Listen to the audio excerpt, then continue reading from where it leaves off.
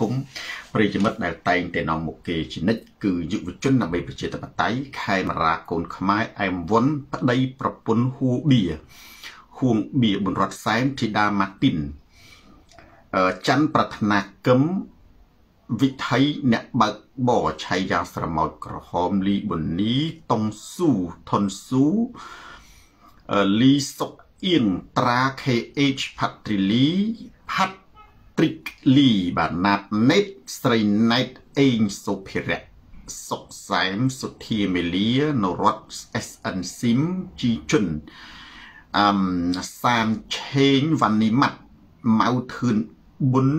សេងហនហ Michael Mick Cherry Rain ដុំសុផាជាតិខ្មែរ និងសូដេតសុតព្រមទាំងខុតសាអែមនិងហ៊ីងស៊ីណានិងប្រិយមិត្តជាច្រើនប្រទេសទៀតដូចជាសួងឈៀននិងលីមេងគីមបាវបាវដែលកំពុងតាមដានទស្សនាការផ្សាយផ្ទាល់របស់ខ្ញុំនៅពេលនេះគ្រាយានៅម៉ោង9យប់ម៉ោងនៅក្នុងប្រទេសកម្ពុជាខ្ញុំសូមបង្ហាញនៅរបៀបរយៈក្តៅនៅថ្ងៃនេះតនសភាពការដូចតទៅ ទី1គឺការបង្ហាញប្រធានបទទី2បកស្រាយនៅប្រធានបទដូចទម្លាប់បុត្រា level M ទី3សំណួរចម្លើយនិងបញ្ហាផ្សេងផ្សេងប្រធានបទថ្ងៃនេះមាន2ដូចរាល់ដងប៉ុន្តែសັດសុររៈមុននឹងឈានចូលទៅដល់ប្រធានបទទាំងពីរនេះសវ៉ាជូន share វីដេអូនេះទៅកាន់ប្រិយមិត្តតិចទៀតទូរទស្សន៍សូនតារាទៅដល់ទីណាការផ្លាស់ប្ដូរផ្នត់កំណត់ទៅដល់ទីនោះអានីការផ្លាស់ប្ដូរផ្នត់កំណត់ទៅដល់ទីណាការយល់ដឹងទៅដល់ទីនោះ ការយល់ដឹងទៅដល់ទីណាហ៊ុនសែនចប់ទៅដល់ទីនោះស្ដាប់សូនតារាកើនបញ្ញា ស្ដាប់ខំវាសនាកើតខួរក្បាលពុំស្ដាប់ហ៊ុនសែនកើតរោគចិត្តទូរទស្សន៍សូនតារាអឹមវ៉ាន់ឌីស្រាត់ខោជន់ផ្ដាច់ការផ្លាស់ប្ដូរផ្នត់កំណត់ប្រធានបទទី1អ្នកស្ដាប់សូនតារា នាមចំណងជើងថាជាជាសំណួរនិងជាបទវិភាគប្រិយមិត្តបើកណាខ្ញុំដាក់សញ្ញាសួរមានន័យថាអត់ដឹងតែវាបទវិភាគ ដែលឆ្លុះបញ្ចាំងពីការពិតណាមួយខ្ញុំដាក់សំណួរថាតើជប៉ុនទំនងជាសូប៊ុនណាសូនិយាយអ្វីទៅកាន់ហ៊ុនសែនប្រធានបទទី2កំឡោះខេត្តកណ្ដាលជាការប្រមាថជីវិតបើសម្ដេច និយាយថា អ្នកចង់ទៅអ៊ុយក្រែនជួយច្បាំងជាការចង់បានសេនជាតិអ៊ុយក្រែនអញ្ចឹងសុពិតយាមនិងកូនខ្មែរគ្រីស្សេន share វីដេអូនេះទៅកាន់ប្រិយមិត្តដទៃទៀតទូរទស្សន៍សូនតារាវុតធីវ៉ែនស្រាតខោជន់ផ្ដាច់ការសាវីផ្លាស់ប្ដូរផ្នត់កំណត់ថ្ងៃនេះម៉ាត់ធំសុផលហែងមានគ្រឿងខ្លែងពីរតូចតូច អមគ្រឿងខ្លែងទី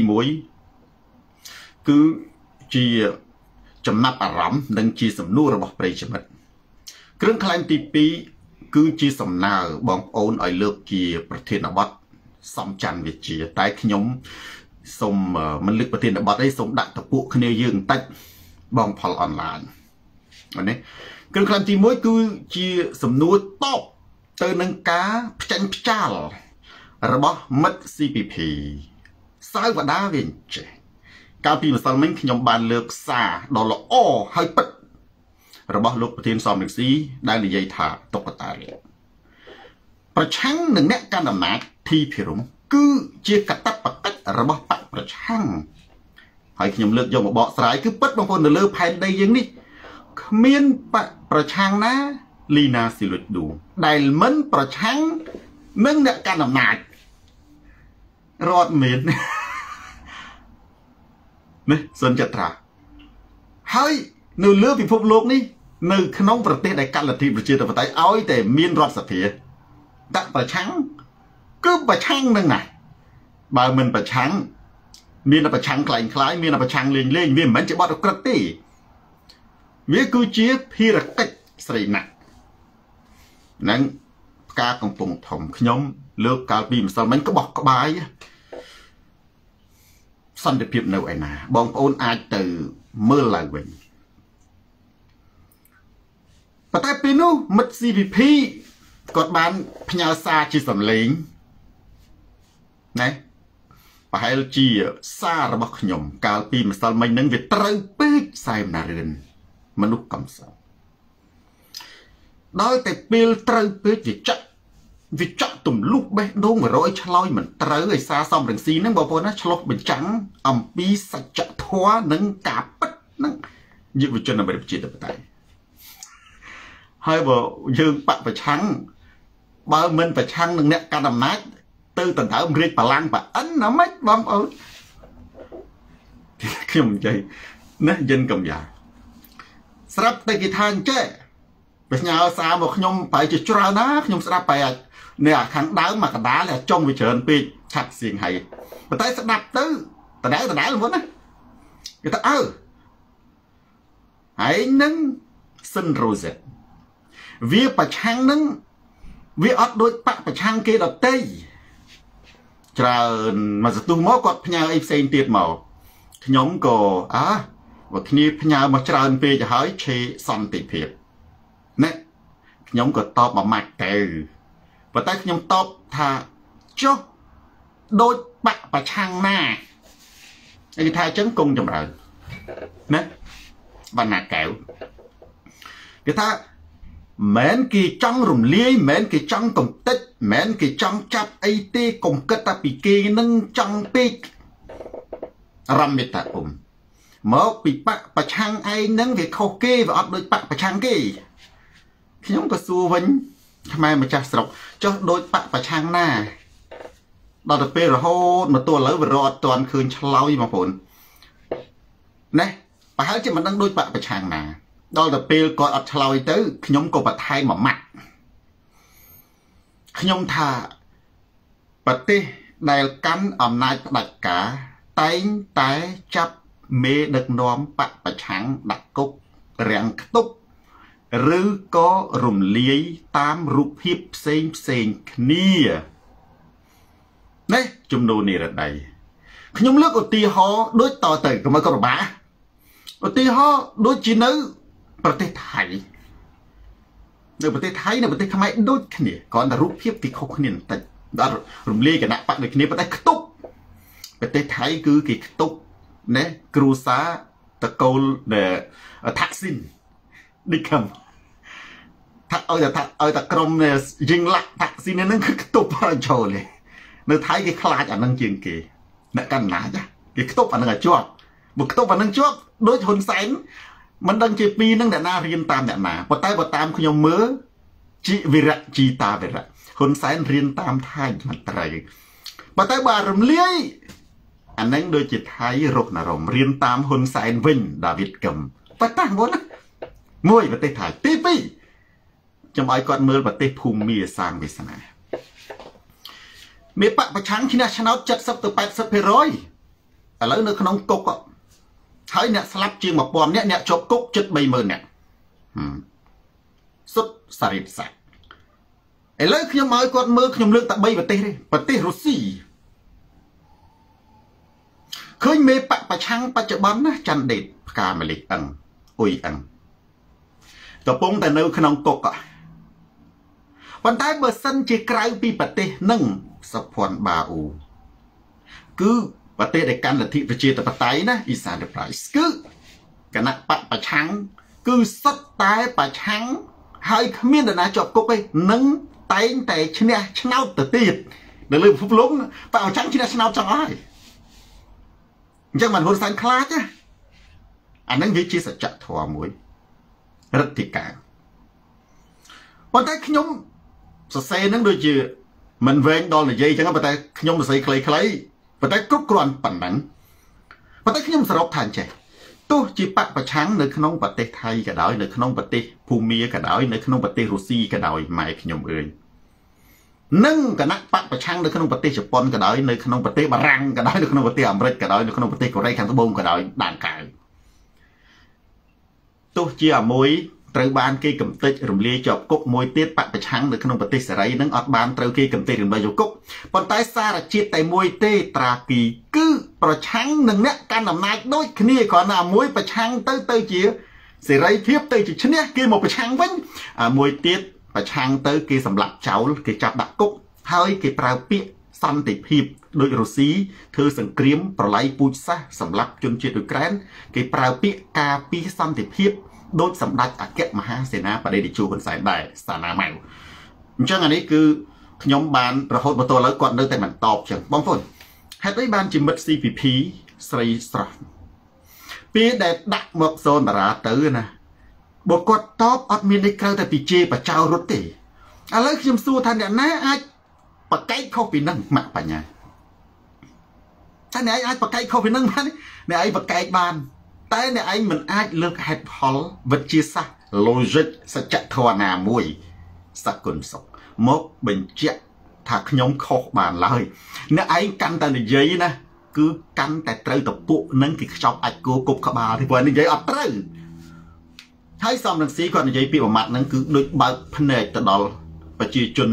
ច្បាស់ពាក្យហ្នឹងហើយទាំងកុមារាកុមារីដូចជាអន្តរជាតិបងប្អូនចឹងណាយុទ្ធសាលីដូចជាគោះអន្តរជាតិប្រាប់ថាពិតអ្វីដែលសំស៊ីថានឹងពិតបកប្រឆាំងគឺប្រឆាំងអ្នកកាន់ណាច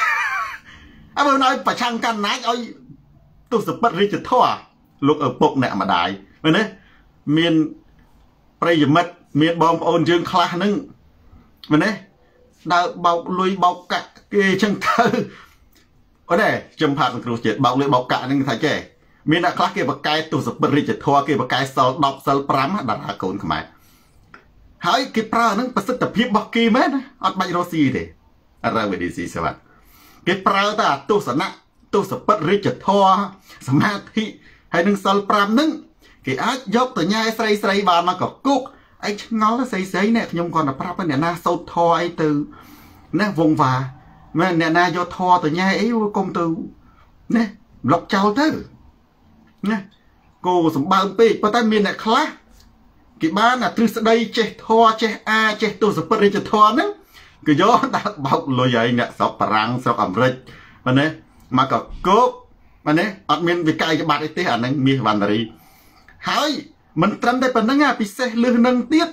គឺគេយកទ្រឹស្ដីពុទ្ធសាសនាទៅញ៉ែស្រីស្រីឲ្យបានមកកគោកគេ សួរថាពីណាគេអត់ដឹងខ្ញុំធ្លាប់ឮធ្លាប់ឮគេថាមិនដឹងនិយាយពីណាបណ្ណៃខ្លះហើយអានឹងគេដើរតួធ្វើជាអធមត្រូវអាសម្បើមអាហ្នឹងអូអញណាលើលោកនេះមានអញនេះទៅត្រឹមត្រូវជាងគេឆេងហួរ Columbus អានឹងបានតែខ្ញុំទៅខ្ញុំគាត់លឺខ្ញុំញាក់សាច់ដែរបងប្អូនណាប្រយ័ត្នណែស្រីស្រីណាប្រយ័ត្នទឹកភ្នែក ដោយសារតែទុសពិតរាជធរនិងសិល5ខ្ញុំគាត់ទៅប្រាប់ចេះទីហើយអ្នកក្រៅលើគេដឹងហើយគេឈប់ហើយលេងអ្នកក្រៅគេកលេចទៅឃើញច្បាស់មួយមួយទៀតគណៈបពប្រឆាំងនេះរមៅថា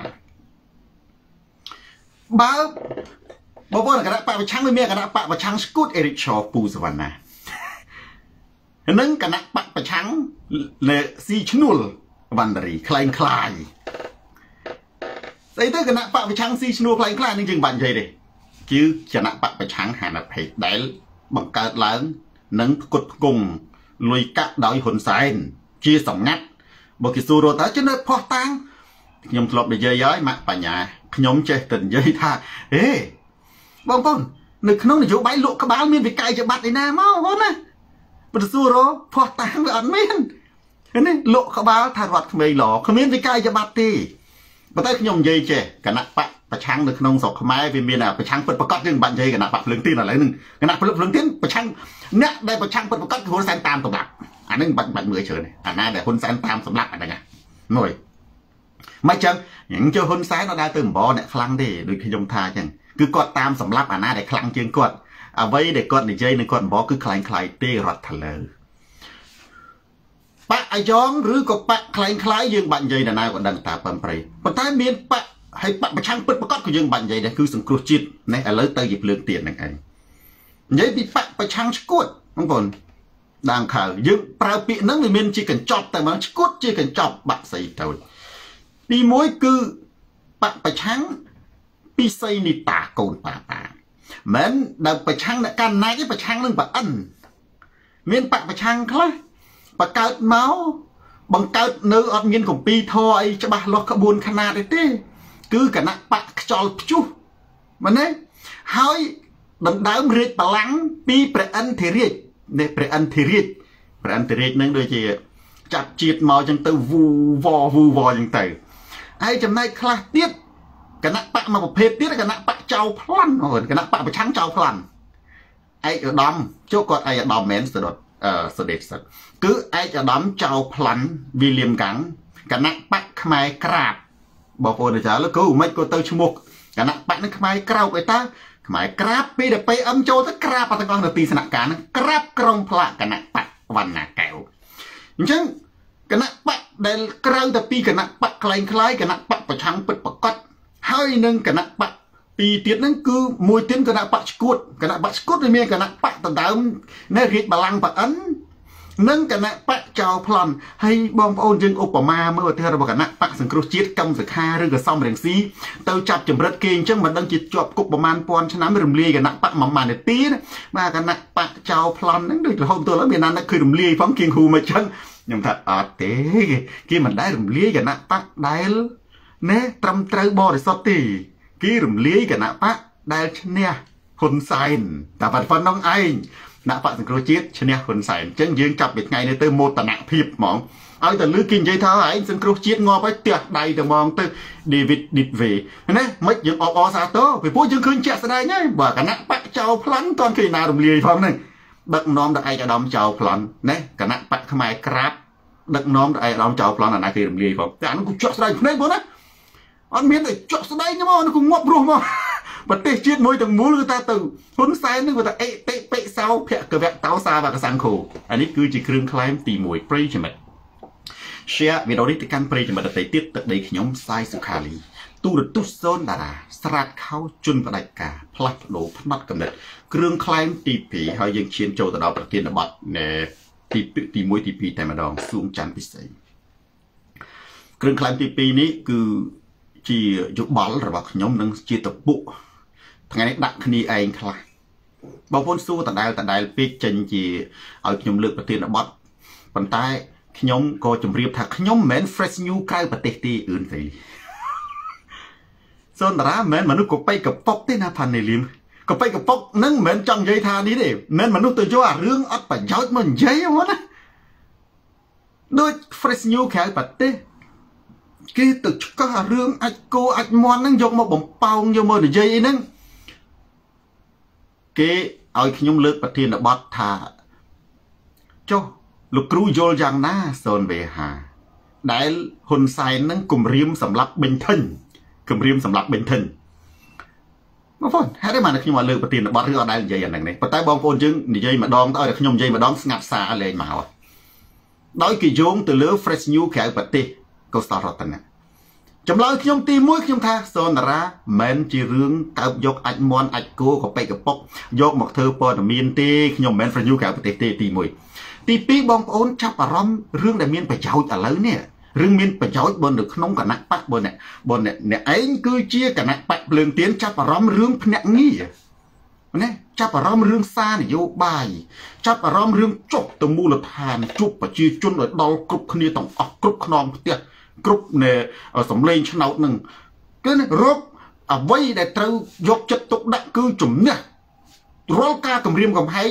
របស់គណៈបកប្រជាជននឹងចាត់ទុកថាការគម្រាមកំហែងនឹងឆាយច័ន្ទមិថុនាគឺជារឿងណាខ្លែងបាយកកចឹងទៅអានឹងណាហើយមួយទៀតមួយទៀតបើយើងបើសម្រាប់អ្នកមិនមែនគណៈបកភ្លើងទៀនទេ ចាប់អារម្មណ៍រឿងសាំងនេះណាបាទត្រូវដែរហ្នឹង ចាប់អារម្មណ៍រឿងសង្គ្រាមនៅអ៊ុយក្រែនរុស្ស៊ីទណ្ឌកម្មអន្តរជាតិតាមដាន VOA ម៉ែនកំសែងតាមដានជនជនបុតអាស៊ីសេរីណាចាប់អារម្មណ៍រឿងគ្រូញៀនចាប់អារម្មណ៍រឿងអំពើពុករលួយចាប់អារម្មណ៍រឿងការកាប់បំផ្លាញព្រៃឈើចាប់អារម្មណ៍រឿងដូចសុកទួយក៏ត្រូវដែរបើណាការពីធនធានធម្មជាតិណាពេជ្រអ៊ីមទៅចាប់អារម្មណ៍មានរឿងអត់ប្រយោជន៍បងប្អូនហ៎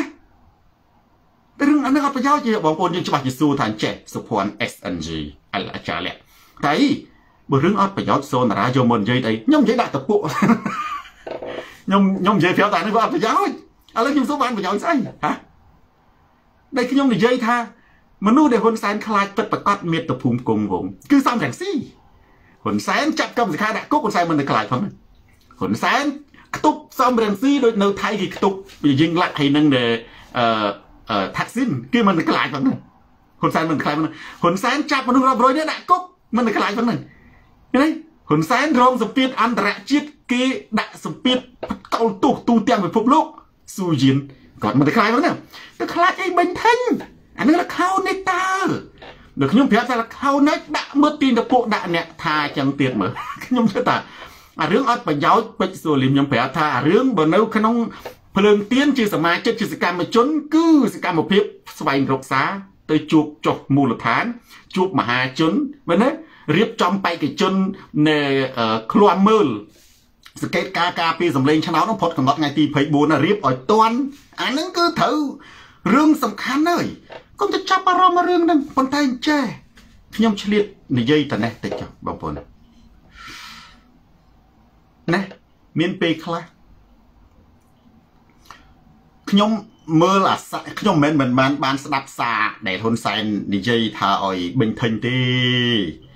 មែនទេមិនក៏ខ្ញុំមិនប្រតិកម្មប៉ុន្តែនេះខ្ញុំដាក់តពួកបងប្អូនចឹងប៉ុន្តែខ្ញុំសូមជម្រាបប្រាប់ប្រិយមិត្តចំពោះទស្សនៈផ្ទាល់ខ្លួនរបស់ខ្ញុំសូនតារានិយាយការពិតមិននិយាយការពៀនិយាយសច្ចធម៌មិននិយាយអសច្ចធម៌និយាយយុត្តិធម៌ធំបន្ថៃមិននិយាយអយុត្តិធម៌តម្រូវចិត្តអ្នកណាដូចខ្ញុំមិននិយាយទេខ្ញុំនិយាយការពិតណាបងប្អូនត្រូវទទួលយកឬក៏មិនទទួលយកស្រេចចិត្តសម្រាប់ស័ក្តិ ខ្ញុំបានស្ដាប់សារហ៊ុនសែនគាត់និយាយពីដើមដល់ចប់ពេលដែលម្ដងមកហើយខ្ញុំលើកប្រធានបទហើយខ្ញុំធ្លាប់លើកប្រធានបទរឿងហ៊ុនសែននឹងគាត់ណែតឡូគាត់បានត្រឹមតែបបួលអ្នកជំងឺដង្ហើមចុងក្រោយទៅបង្កើតគណៈបកប្រឆាំងជាមួយគាត់គាត់អត់ហ៊ានជាមួយគេខ្លាំងពិតប្រាកដណាលាក់សុំហើយដល់តែពេលឃើញ fresh new ក្រៅប្រទេសហ្នឹងគេផ្ញើមកច្រើនពេកគេផ្ញើ fresh new ក្រៅប្រទេសហ្នឹងរឿងហ៊ុនសែនគម្រាមសម្រាប់បេងថិនខ្ញុំក៏ស្ដាប់ម្ដងទៀត បងស្រីខ្ញុំស្ដាប់ម្ដងទៀតទៅវាអត់មានឃើញចំណុចណាដែលថាហ៊ុនសែនគម្រាមសម្លាប់បងប្អូនអូនោះអានេះសម្រាប់ខ្ញុំឯណាបងប្អូនអាចប៉ុន្តែរឿងនេះល្អបើសិនជាណែបេងថិញឬក៏មេតាវីនៅក្នុងប្រទេសអាមេរិកគេបកកែឆ្នៃរឿងហ្នឹងឲ្យទៅជាប្រយោជន៍លៀមយ៉ាយ៉ា ដើម្បីដាក់សម្ពាធទៅហ៊ុនសែនល្អរកអាឆ្នៃបកស្រាយមិនឲ្យអាហ្នឹងវាទៅជាការគម្រាមសម្លាប់យើងប្តឹងទៅប៉លីសប្តឹងទៅតុលាការជារឿងត្រឹមត្រូវអាហ្នឹងវាចឹងប៉ុន្តែបើខ្ញុំស្ដាប់ផ្សារចុះផ្សារឡើងរកឃើញចំណុចដែលហ៊ុនសែនគម្រាមបេញថេញវាអត់ឃើញមានតែតែណែមានថាមើលខ្ញុំអត់ចង់និយាយតាមពាក្យគាត់ទេតែនិយាយទៅអាហ្នឹងដូចលខោនមែនទេគាត់ថាមើលហែងចង់ងាប់ម្នេះ ឬក៏ចង់រស់ហែងចង់ងាប់មុននឹងឬក៏ចង់ណារស់ចង់ងាប់មុនអាជំងឺហ្នឹងអឿសរិតអឿនសរិតក៏អាហ្នឹងគឺជាការដាក់បណ្ដាសាជេរប្រមាថបានវាត្រូវហ៊ុនសែនក៏ថាចង់ងាប់គឺមានន័យថាឯងនឹងកាត់ពវៀនកើតជំងឺណា ចង់នឹងដើម្បីទទួលបានសាររបស់គាត់នឹង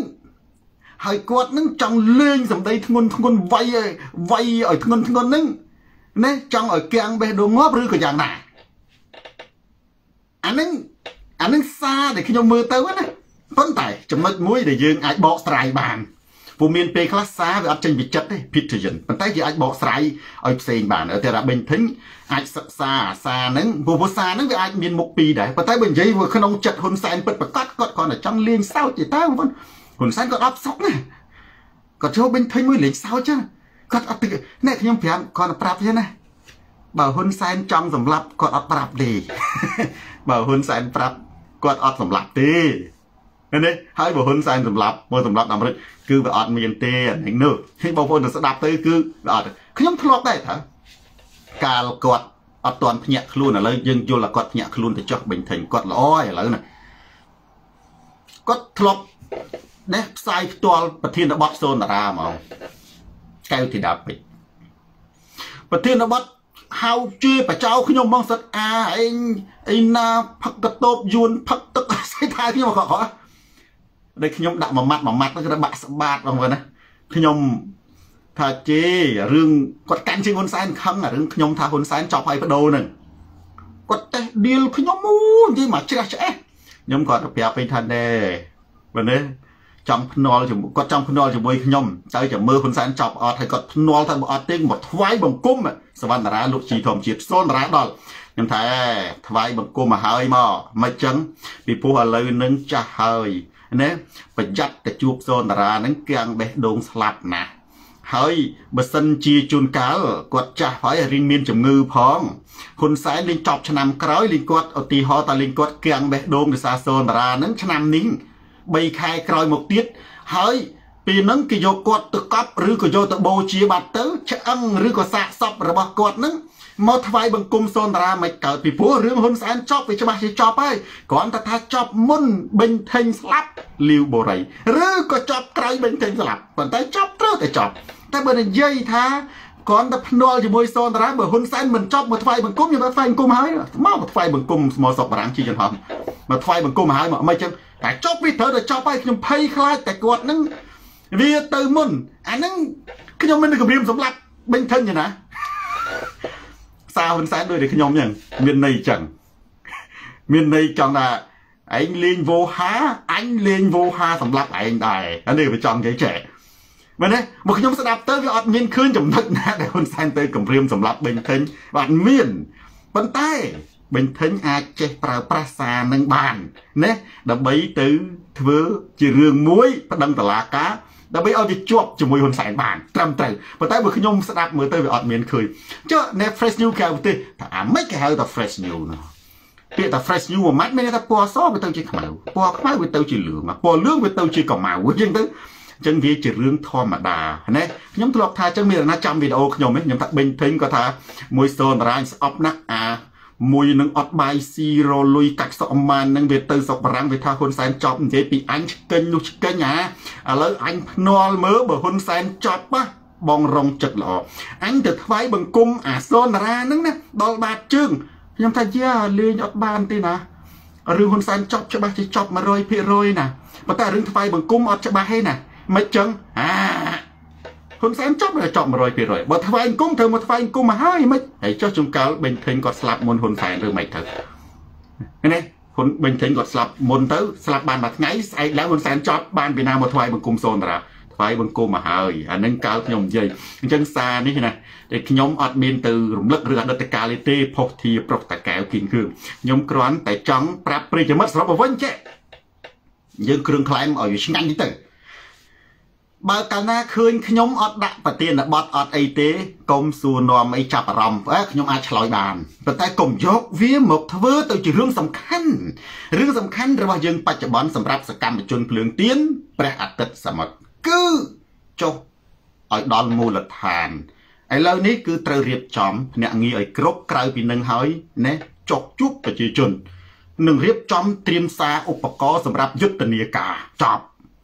សម្រាប់ប្រជាជនត្រៀមទៅបោះឆ្នោតហើយចាប់អារម្មណ៍រឿងសំខាន់សំខាន់ដូចជាអំពើពុករលួយសង់ឡើងថ្លៃគ្រឿងញៀនមិនរឿងព្រំដែនរឿងការកាប់បំផ្លាញព្រៃឈើរឿងវិនិយោគទុនរឿងទណ្ឌកម្មសេដ្ឋកិច្ចអន្តរជាតិសូវៀតអ៊ុយក្រែនអន្តរជាតិទៅអានឹងចាប់អារម្មណ៍ចឹងទៅចាប់អារម្មណ៍អីរឿងបេញថេញមនុស្សកប៉ិចកប៉ុកអង្គកប៉ុង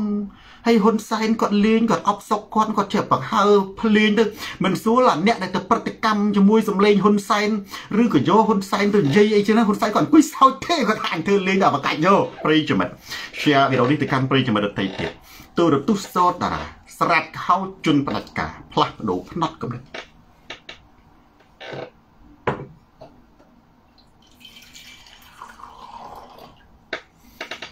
ឥឡូវ បទវិភាគ Dictator Hunter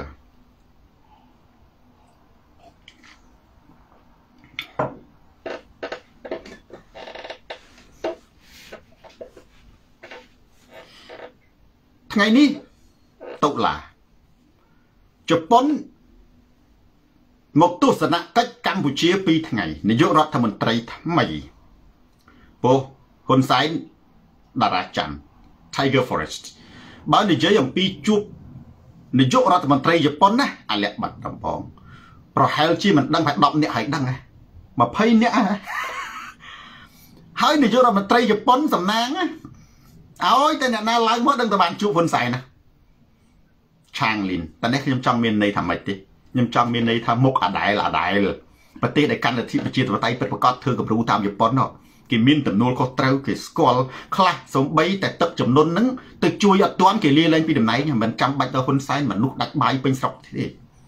អាសំណាងប៉ុន្តែ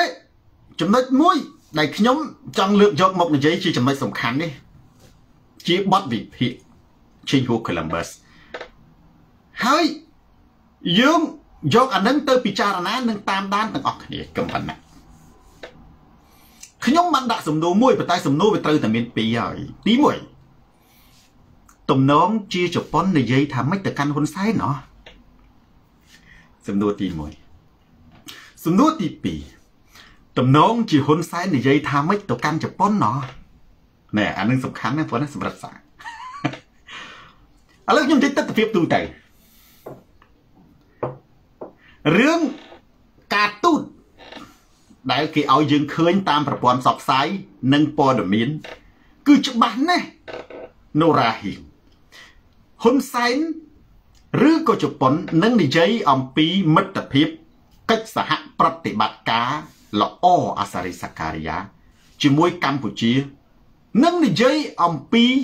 ចំណងសាមគ្គីភាពរឹងមាំរវាងប្រទេសទាំងពីរនឹងនិយាយអំពីប្រវត្តិសាស្ត្រដែល ប្រទេសជប៉ុនមានស្នាដៃចំពោះប្រទេសកម្ពុជា នៅក្នុងការចូលរួមកសាងហេដ្ឋារចនាសម្ព័ន្ធរ៉េវេនីស៊ីសវណ្ណណានឹងនិយាយទូទៅទឹកទៅភាពទូទៅដែលអ្នកណានរណាក៏ដឹងដែរឬក៏មួយទៀតនឹងនិយាយអំពីការស្ដារឡើងវិញនៅសេដ្ឋកិច្ចដែលទ្រុឌទ្រោមដោយវិបត្តិកូវីដ ពិភពលោកប្រទេសអ្នកមានអត់អីហើយប្រទេសក្រីក្រសឿនង៉ែទទួលរង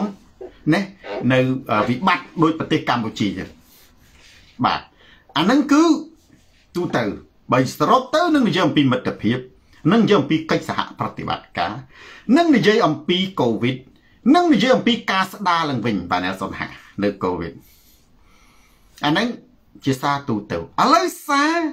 ជំរឿទំនងជា ដែលបងប្អូនអត់លឺនឹងតិចឬក៏មានអ្នកខ្លះច្បិចយកបានស្រិនកងណាខ្ញុំជឿថាជប៉ុននឹងនិយាយរឿងពីរបងប្អូន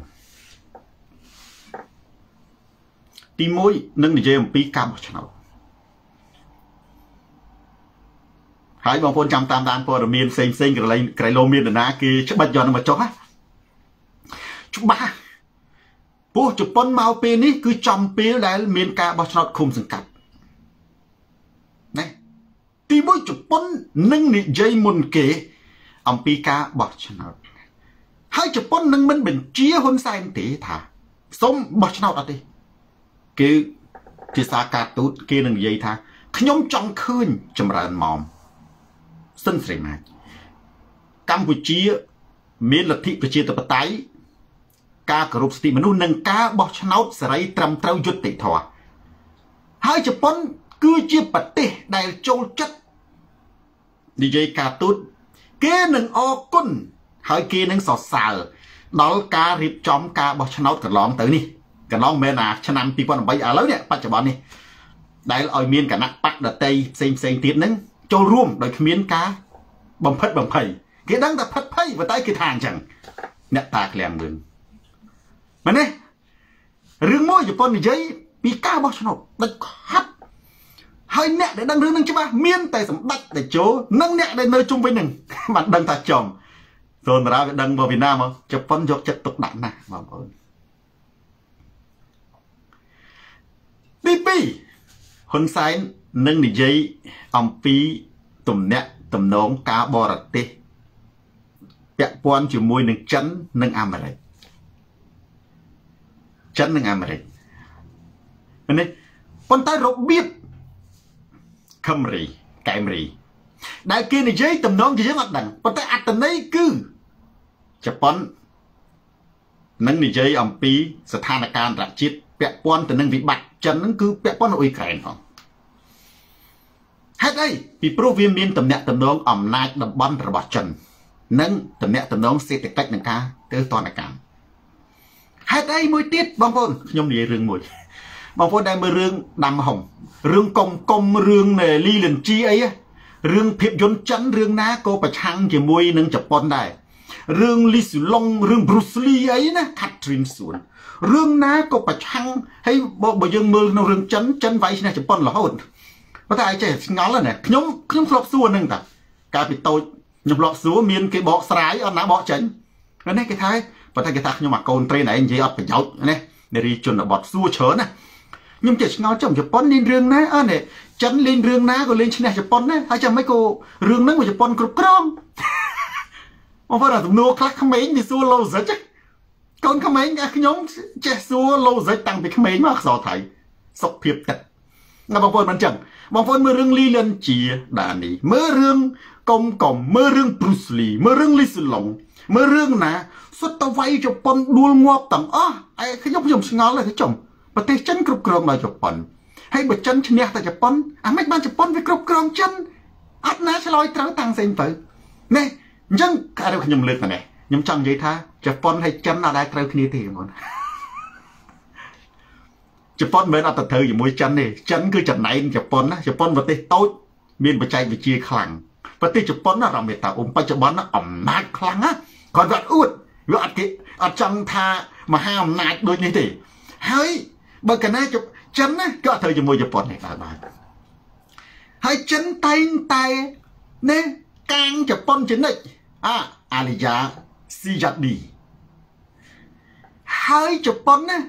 តែងតែនៅជាមួយអឺរ៉ុបនិងលោកខាងលិចលោកខាងលិចប្រទេសខ្ញុំនៅអឺរ៉ុបបាទអឺរ៉ុបនិងលោកខាងលិចដូចគ្នាសហភាពអឺរ៉ុបនិងអាមេរិកជានិច្ចនិងអូស្ត្រាលីជានិច្ច ហើយជប៉ុនរបៀបការងាររបស់គេគឺគេអត់និយាយរឿងក្តៅគេអត់ប្រកាន់គោលជំហរទណ្ឌកម្មទេអានឹងរបៀបប្រពៃណីរបស់ចិនណាអឺប្រពៃណីរបស់ជប៉ុននោះណាយល់នេះត្រូវធ្វើមើលតែជប៉ុនប្រឆាំងការបោះឆ្នោតគេអត់ថ្លែងការគេអត់ថ្កោលទោសគេអត់ដាក់ទណ្ឌកម្មអីដូចនេះទេដូចអាមេរិកដូចអីទេ គេគិតប្រជាជនជាធំ ថ្ងៃនេះកម្ពុជាណែគេគេអត់គិតរឿងហ៊ុនសែនគេគិតថាអូប្រទេសនឹងវាប្រសើរជាងផ្ទុះគ្រាប់បែកតម្លាក់គ្រាប់បែកសង្គ្រាមបង្ហូរឈាមគ្នាអញ្ចឹងទៅបើគេដាក់ទណ្ឌកម្មហ៊ុនសែនគឺវាងាប់ប្រជាជនអញ្ចឹងហ៊ុនសែនយកប្រជាជនធ្វើចំណាប់ខ្មាំងណាជប៉ុនគេក៏អត់មានអីជីទៅមែនទេក៏គេទៅតាមនឹងតាមនេះប៉ុន្តែគេព្យាយាមអមអមអែបអែបអមអមដើម្បីកុំឲ្យទាញហ៊ុនសែនធ្លាក់ទៅកូរ៉េខាងជើងឬកុំឲ្យហ៊ុនសែននឹងទាញទៅនេះចិនទាំងស្រុងអញ្ចឹងរបៀបធ្វើការរបស់ជប៉ុនផ្សេង នេះបើយើងមើលទៅឃើញផ្ទុយអំពីលោកខាងលិចហ្មងផ្ទុយអំពីលោកខាងលិចអឺរ៉ុបហើយនិងអាមេរិកដែលលេងដរិចដរិចការផ្ទាល់ផ្ទាល់ជប៉ុនអត់ទេជប៉ុននៅតែបន្តជំនួយនៅបន្តអីចឹងប៉ុន្តែគេនៅឃ្លាំមើលជានិច្ចប៉ុន្តែការបោះឆ្នោតឆ្នាំ2008គេប្រឆាំងត្រង់អីប្រឆាំងត្រង់គេលែងខ្វល់អនុប្រវេតជប៉ុនអនុប្រវេតចំពោះការបោះឆ្នោតមានថាគេអត់បញ្ជូនអ្នកជំនាញគេអត់បញ្ជូនភ្នាក់ងារមកទេព័ត៌មានណាគេនិយាយថាជប៉ុនអត់បញ្ជូនមកទេហើយពេលនោះណា អាបេនៅនាយករដ្ឋមន្ត្រីមុនហ្នឹងគឺគេអត់ចង់និយាយរហ៊ុនសែនទេព្រោះជប៉ុនមានទម្លាប់ម៉េចអត់ចូលចិត្តបង្ខំគេនិយាយហើយដើរចេញអ្នកឯងតាមក៏តាមទៅអ្នកឯងស្ដាប់ក៏ស្ដាប់ទៅអ្នកឯងមិនស្ដាប់ក៏អត់ទៅប៉ុន្តែគេមានជំនួយគេមានកិច្ចសហប្រតិបត្តិការនេះនេះជំនួយនឹងកិច្ចសហប្រតិបត្តិការហ្នឹងវាមានទំហំតូចឬក៏ធំទៅតាមសកម្មភាពនៃរបបហ៊ុនសែន អង្គរខ្មែរសកម្មភាពនៃរបបហ៊ុនសែនប្រទេសជប៉ុនគេនិយាយថាចេះណាខ្ញុំសូមកោតសរសើរនៅក្នុងការបោះឆ្នោតឃុំសង្កាត់នេះដែលមានការរៀបចំបានត្រឹមត្រូវអីចឹងទៅនេះអត់មានឃើញគណៈបកជាច្រើនបានចូលរួមរៀបចំអត់មានផ្ទុះអាវុធអត់មានការគម្រាមកំហែងអត់មានដុតផ្លាកដុតអីទេដូចហ៊ុនសែនថាមែនមិនឲ្យមានការបោះឆ្នោតនឹងមានការជន់ជើងវាយគ្នាផ្ទុះឆេះឡានឆេះផ្លាកហេដូចឃើញឆេះពីរទេតាផ្លាកដូចឃើញផ្លាកភ្លើងទៀនឆេះពីរទេតាណា អេដូចមិនមែនពីរទេដូចច្រើនតែដឹងហ៎អាហ្នឹងយើងថាជប៉ុនគេធ្វើអត់ឃើញចុះមែនទេព្រោះហ៊ុនសែនគាត់និយាយគាត់ថាជំនាញថាការបោះឆ្នោតនេះអត់មានអត់មានឆេះផ្លាកអត់មានឆេះឡានអត់មានវាយគ្នាទេទេសាគុណសុកណាបើតែជប៉ុនគេមានភាសាគេនិយាយមួយហើយគេខ្វល់តែហ៊ុនសែនធ្វើមិនធ្វើទេបើហ៊ុនសែនគាត់ធ្វើអាហ្នឹងវាអាទំហំនៃប្រតិបត្តិការសេដ្ឋកិច្ចនេះវាធំតាមនឹងទៅ បើហ៊ុនសែនអត់ធ្វើគេគេគេនៅតែជួយអញ្ចឹងប៉ុន្តែអាទំហំហ្នឹងវាចង្អៀតជាងមុនទៅហើយកុំភ្លេចថាជប៉ុនណាមិនដែលត្រូវជាមួយចិនទេហើយមូលហេតុដែលប្រទេសកម្ពុជាចិនកាន់កាប់កម្ពុជានឹងមានការសង្ស័យថាចិននឹងកម្ពុជាផ្ដល់យោធាមូលដ្ឋានទៅឲ្យចិនជប៉ុនថ្ងៃមុនទៅចតអ្នកកប៉ាល់យោធាមួយគម្រប់ខូបទេ ហើយបន្តមកទៀតនាយករដ្ឋមន្ត្រីគេទៅមកអានឹងវាបញ្ជាក់អំពីគោលនយោបាយការទូតត្រជាក់គោលនយោបាយការទូតសុភាពព្រៀបសាររបស់ជប៉ុន ដែលដើរតួមើលទៅស្មោះស្មោះត្រង់ស្មោះស្ម័គ្រជាមួយនឹងសម្ព័ន្ធមិត្តអាមេរិកអូស្ត្រាលីនិងអឺរ៉ុបខ្ញុំជាណាគ្រីអានេះបទវិភាគមែនណាស៊ូយូគីអ៊ីរ៉ូគីសូធីវាជាការពិត បងប្អូននៅក៏មើលចរិតជប៉ុនណាគឺអញ្ចឹងកុំច្រឡំអញ្ចឹងចំណុចទី1ដែលខ្ញុំថានិយាយពីបោះឆ្នោតចំណុចទី2នឹងនិយាយអំពីកិច្ចការបរទេសពាក់ព័ន្ធនឹងសង្គ្រាមអ៊ុយក្រែនពាក់ព័ន្ធទៅនឹងអាស៊ានពាក់ព័ន្ធទៅនឹងអាស៊ានអាមេរិកពាក់ព័ន្ធជាមួយអាស៊ាននឹងចិនប៉ុន្តែរឿងជំរឿគេយ៉ាងណាណាគឺយើងអត់ដឹងទេឥឡូវនឹងជប៉ុននិយាយចឹងបងប្អូនភ្លេចសួរអុករដ្ឋីអុកឡែន ចុះជប៉ុនមាននិយាយអំពីការដោះលែងកម្មសិក្ខាទេខ្ញុំថាអត់ទេអត់ទេបើអាមេរិកនឹងនិយាយបើអឺរ៉ុបនឹងនិយាយប៉ុន្តែជប៉ុនខ្ញុំថានឹងមិននិយាយអំពីការដោះលែងកម្មសិក្ខា គឺគេផ្ដោតទៅលើសិទ្ធិមនុស្សនិងលទ្ធិប្រជាធិបតេយ្យមានន័យថាម៉េច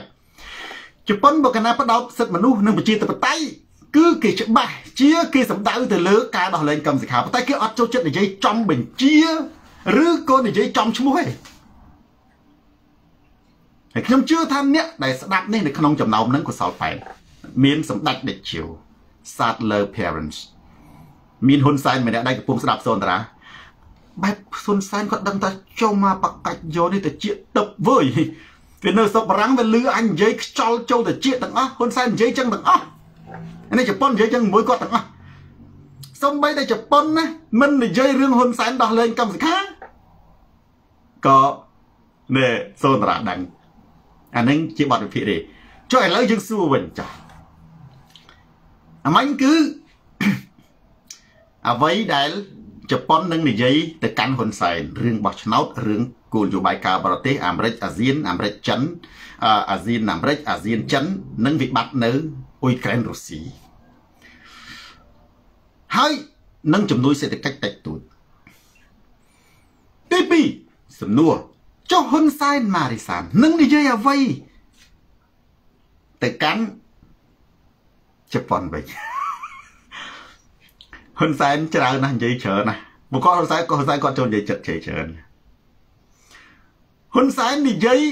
ដែលបងប្អូនដឹងអ្នកណាអ្នកណាក៏ដឹងពីរ ណាទី1ហ៊ុនសែននឹងនិយាយអំពីសុខសន្តិភាព ការពារសន្តិភាព ស្ថិរភាពនយោបាយការអភិវឌ្ឍហ៊ិនលាវយុទ្ធសាស្ត្រឈ្នះឈ្នះយុទ្ធសាស្ត្រ defeat ធ្វើឲ្យប្រទេសកម្ពុជាមានឯកភាពទឹកដីនិងទទួលបានសុខសន្តិភាពបរិបូរណ៍អានឹងច្បាស់ហ៊ុនសែនគឺនិយាយនឹងអត់ចោលហ្នឹង អានេះទី1ទី2បងប្អូនច្បាស់ជាងនរណានរណាទាំងអស់គឺពាក្យប៉ាងសខឿនខ្មែរសវណ្ណភូមិគាត់ថាហ៊ុនសែនជាប្រសិទ្ធជាប្រធានអាស៊ានតុំវីរៈអ៊ុចសុំខ្ញុំអត់ដឹងអាស៊ានតុំនឹងស្អីគេទេថារដ្ឋក្មេងល្អអានឹងយើងទៅសួរប៉ាងសខឿននឹងគេបកប្រែថាម៉េចអាហ្នឹងគាត់ដឹងថាហ៊ុនសែនសុំលុយបង ដាច់ខាត់ឲ្យតែជប់គឺសុំលុយហើយអាសុំលុយនឹងបងប្អូនណាគឺជាភាសាទូតទេគឺខ្ចីហើយអ្នកណាសងទេស្រិនគង់ណា គឺទាំងអស់គ្នាខ្មែរទាំងអស់ហ្នឹងសាំងឡើងថ្លៃហ្នឹងនេះហ៊ុនសែនយកពុនហើយពេលដែលហ៊ុនសែនខ្ចីលុយជប៉ុនណាពេលជប៉ុនឲ្យលុយហ្នឹងហ៊ុនសែនយកលុយទៅឯណាទេយកលុយដាក់អំណោយដល់ថ្លៃថ្លារបស់សម្ដេចហើយយកណាអ្នកសងអើប្រជាជនទាំងអស់គ្នាអ្នកសងហ្នឹង យកលុយមិនណាលុយខ្មែរដែលអេងឆាអៀងអែដាមអេងឆាអៀងអាជីវគាត់និយាយតែនឹងត្រូវអត់ខុសទេអូន100%គាត់ថាហ៊ុនសែនណាដែលមានលុយហ្នឹងគឺទៅខ្ចីបរទេសហ្នឹងយកអីទៅប្រចាំធម្មតាយើងទៅធនាគារពូពើគឺយើងយកប្លង់ផ្ទះឬក៏បើយើងអត់ប្លង់ផ្ទះនៅស្រុកអាមេរិកនៅស្រុកបារាំងគេយកការងារប្រាក់ខែទៅប្រចាំតើយើងមានការងារមានប្រាក់ខែនឹងមិនឲ្យខ្ចីប៉ុន្តែបើនៅស្រុកខ្មែរគេយកប្លង់ផ្ទះទៅប្រចាំនិគីតួម៉ៅហ្វុន ហ៊ុនសែនគាត់យកប្រទេសខ្មែរនិងប្រជាជនទៅប្រចាំណាបងប្អូនមានដឹងមានបងប្អូនដឹងថាពេលដែលហ៊ុនសែនខ្ចីលុយបងប្អូនខ្មែរគ្រប់រូបនឹងសិតតែជាឧបករណ៍ប្រចាំរបស់ហ៊ុនសែនណាណាហើយប្រទេសកម្ពុជានឹងសិតតែជាឧបករណ៍ប្រចាំរបស់ហ៊ុនសែនណាណាបុផាចាំនៅពេលណានេះស្រីឡៃស្ទឹងត្រែងវ៉ាន់ស្រេងពេលដែលហ៊ុនសែនសងអ្នកណាសងហាចហ៊ុនសែនយកអ្នកណាទៅប្រចាំយកប្រជាជនទៅប្រចាំប្រជាជនអ្នកធ្វើការបងពុនសង ហើយចុះលុយនឹងលុយយកធ្វើ start ដាក់ start ណៅហ៊ុនសែនធ្វើផ្លូវផ្លូវហ៊ុនសែនគេមកខ្ញុំថាថ្ងៃក្រោយខ្ញុំដាក់ឈ្មោះខ្ញុំដែរបងប្អូនទៅស្អីដាក់ឈ្មោះយើងដែរមើលមិនចាំខូចខូចម៉ែមកអាលុយប្រទេសជាតិលុយគេគេបងពុនលុយប្រជាជនសោះអំណោយហើយនៅសោតកំណាបទៀតឥឡូវនៅថាឯងណាច័ន្ទណានេះដើរផ្លូវសម្ដេចដើរស្ពានសម្ដេចខ្ញុំថាមនុស្សឲ្យតែនៅនិយាយយ៉ាងចឹងខ្ញុំលែងនិយាយជាមួយមកខ្ញុំចាត់ទុកជាខួរក្បាលកថោខ្ញុំនិយាយជាមួយហេពីមុនសំបីខ្ញុំក៏ថាចឹងដែរ ពីមុនការពិតលោកីគាត់ថាឥឡូវមនុស្សវាឆ្លាតទៅហើយបានស្រីមនុស្សមនុស្សវាដឹងថាអានឹងលុយពុនប្រជាជនហើយហ៊ុនសែនណាវណ្ណាកាត់ដេទៅខ្ចីលុយបរទេសគឺយកប្រទេសជាតិនិងប្រជាជនទៅប្រចាំយកបងប្អូនគ្រប់គ្នានឹងហើយទៅប្រចាំបងប្អូនហើយអ្នកសងបើអត់លុយមកខ្ចីលុយចិនយកប្រទេសជាតិទៅសងយកឲ្យខ្សងកំពង់សោមសងកោះកុងសងភ្នំសងរ៉ែសងទលេសងសមុទ្រសងអាណានិគមឲ្យចិនដាក់ មកអុកលុករញ៉េរញ៉ៃអានឹងយកកម្ពុជាសងបកគលទឹកដីកម្ពុជាឲ្យទៅចិនអានឹងណាអញ្ចឹងចំណុចមួយចំណុចពីរដែលណាណាណាក៏ដឹងដែរគឺហ៊ុនសែននឹងនិយាយដូចខ្ញុំថាអញ្ចឹងគឺសន្តិភាពស្ថិរភាពនយោបាយយុទ្ធសាស្ត្រឈ្នះឈ្នះបង្រួបបង្រួមជាតិសាសសាសអូអាហ្នឹងទៅទី2គឺសុំលុយអានេះទី3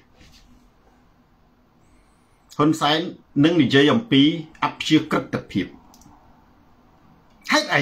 បងប្អូនអាចំណុចនេះរាជនីសំនិងណារិនតើជាបងប្អូននឹកអត់ដល់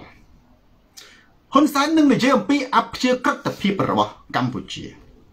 ផាត្រីលីផាត្រីឡាំបឺពីព្រោះ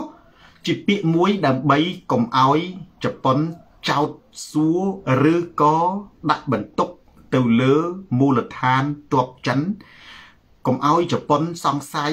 ឬក៏ដាក់បន្ទុក ទៅលើកម្ពុជាលំអៀងទៅរកមហាអំណាចចិនហើយនៅពេលណាហ៊ុនសែនក៏ខ្លាចដែរហ៊ុនសែនក៏ចង់ស៊ីទាំងអស់ចិនក៏គាត់ចង់ស៊ីស៊ីលុយជប៉ុនក៏គាត់ចង់ស៊ីលីសាអុកដល់តែពេលគាត់ចង់ស៊ីទាំងពីរសារមួយដែលគាត់ ណែ VHAAAU និយាយទៅកាន់ជប៉ុនដើម្បីរំដោះគឺមានតែអព្យាក្រឹតភាពកម្ពុជាបូរណភាពទឹកដីមិនលំអៀងទៅខាងណាមិនលំអៀងទៅខាងអាមេរិកមិនលំអៀងហើយអ្វីដែលហ៊ុនសែននិយាយនឹងគឺតំណងជាហ៊ុនសែនគាត់ដឹងថាជប៉ុនចង់លឺអាហ្នឹងឲ្យចង់ឃើញពីព្រោះខ្ញុំត្រឡប់ទៅវិញហើយរឿងថាចិននិងជប៉ុនមិនដែលត្រូវគ្នាទេមិនដែលត្រូវគ្នាណាមិនឆ្លោះគ្នារឿងទឹកដីដូច ចិនហើយនឹងយួនណែដែលចិនវាចង់លេបយួនទេវាចង់វាយទេឬក៏យួនវាចង់ការពារប្រទេសទេវាមិនជាចំនួនប្រវត្តិសាស្ត្រទឹកដីគឺចំនួនដណ្ដើមអធិពលដណ្ដើមអំណាចពិភពលោកដណ្ដើមអធិពលហេតុអីពីព្រោះជប៉ុនធ្លាប់មានអំណាចត្រួតត្រាទៅលើចិនហើយក្រោយមកទៀតក្រោយអាមេរិកកាំងទម្លាក់ក្របបែកទៅកៅ LN ណាជប៉ុនក៏អស់អធិពល ប៉ុន្តែឥឡូវនៅជាអធិពលលាក់មុខមហាអំណាចសេដ្ឋកិច្ចខ្លាំងណានៅលើពិភពលោកនឹងរក្សាសិទ្ធិអញ្ចឹងចិនណាខិតខំប្រំលោតនឹងធ្វើម៉េចបើក្រោមអាមេរិកក៏បានដែរក្រោមរុស្ស៊ីក៏បានដែរក្រោមប្រទេសណាក៏បានដែរបងប្អូនកំណត់ចិនណាធ្វើម៉េចឲ្យតែវាខ្លាំងជប៉ុនហើយជប៉ុនអត់អួតទេចាំតែមើលទេប៉ុន្តែអារឿងទំនាស់រវាងចិននិងជប៉ុនណាគឺជាទំនាស់តែចាក់អត់ណាមើលដឹងទេគឺជាសារជាតិ អធិពលដណ្ដើមគ្នាដណ្ដើមអធិពលគ្នាដល់តែពេលចំណុចហ្នឹងហើយបានជាបើសិនជាកម្ពុជាផ្ដល់ទីតាំងទៅឲ្យចិនណាសំបីតែជប៉ុនក៏មិនអាចជួយបានដែរកសលប៉ែតអានឹងដែលយើងទាញសន្និដ្ឋានមើលទៅឃើញថាតើហេតុអ្វីណែចំណុចអីដែលយើងតំណងជាជប៉ុននឹងនិយាយទៅកាន់ហ៊ុនសែនហើយហ៊ុនសែននិយាយទៅកាន់ជប៉ុនខ្ញុំថាវាយូរឡែកតា គឺ3ហ្នឹងសំខាន់ហ៊ុនសែនប៉ុន្តែរឿងពីរទៀតណាណាតាណាក៏ដឹងដែររឿងហ៊ុនសែនសុំលុយហ៊ុនសែនខ្ចីលុយហ៊ុនសែនរួចអួតរឿងសេដ្ឋីរភាពយុទ្ធសាស្ត្រឈ្នះឈ្នះឲ្យសន្តិភាពមានការពិវត្តអាហ្នឹងគឺនេះជារឿងមួយប៉ុន្តែរឿងមួយដែលអព្យាក្រឹតភាពហ៊ុនសែននឹងបញ្ជាក់ប្រាប់ជប៉ុនដើម្បីការពារដោះខ្លួនចេញអំពីសម្ពាធនឹងការចោទរបស់សហរដ្ឋអាមេរិកនិងប្រទេសដទៃទៀតនៅសហភាពអឺរ៉ុបនិងការសង្ស័យដទៃទៀតនៅជុំវិញពិភពលោកថាហ៊ុនសែននឹងផ្ដល់មូលដ្ឋានតបឲ្យចិនប្រិយមិត្ត share វីដេអូនេះទៅកាន់ប្រិយមិត្តដទៃទៀតទូរទស្សន៍សូនបាទស្រាត់ខោជន់ផ្ដាច់ការម៉ារីសានផ្លាស់ប្ដូរផ្នែកកំណត់យើងចូលទៅដល់ប្រធានបទទី2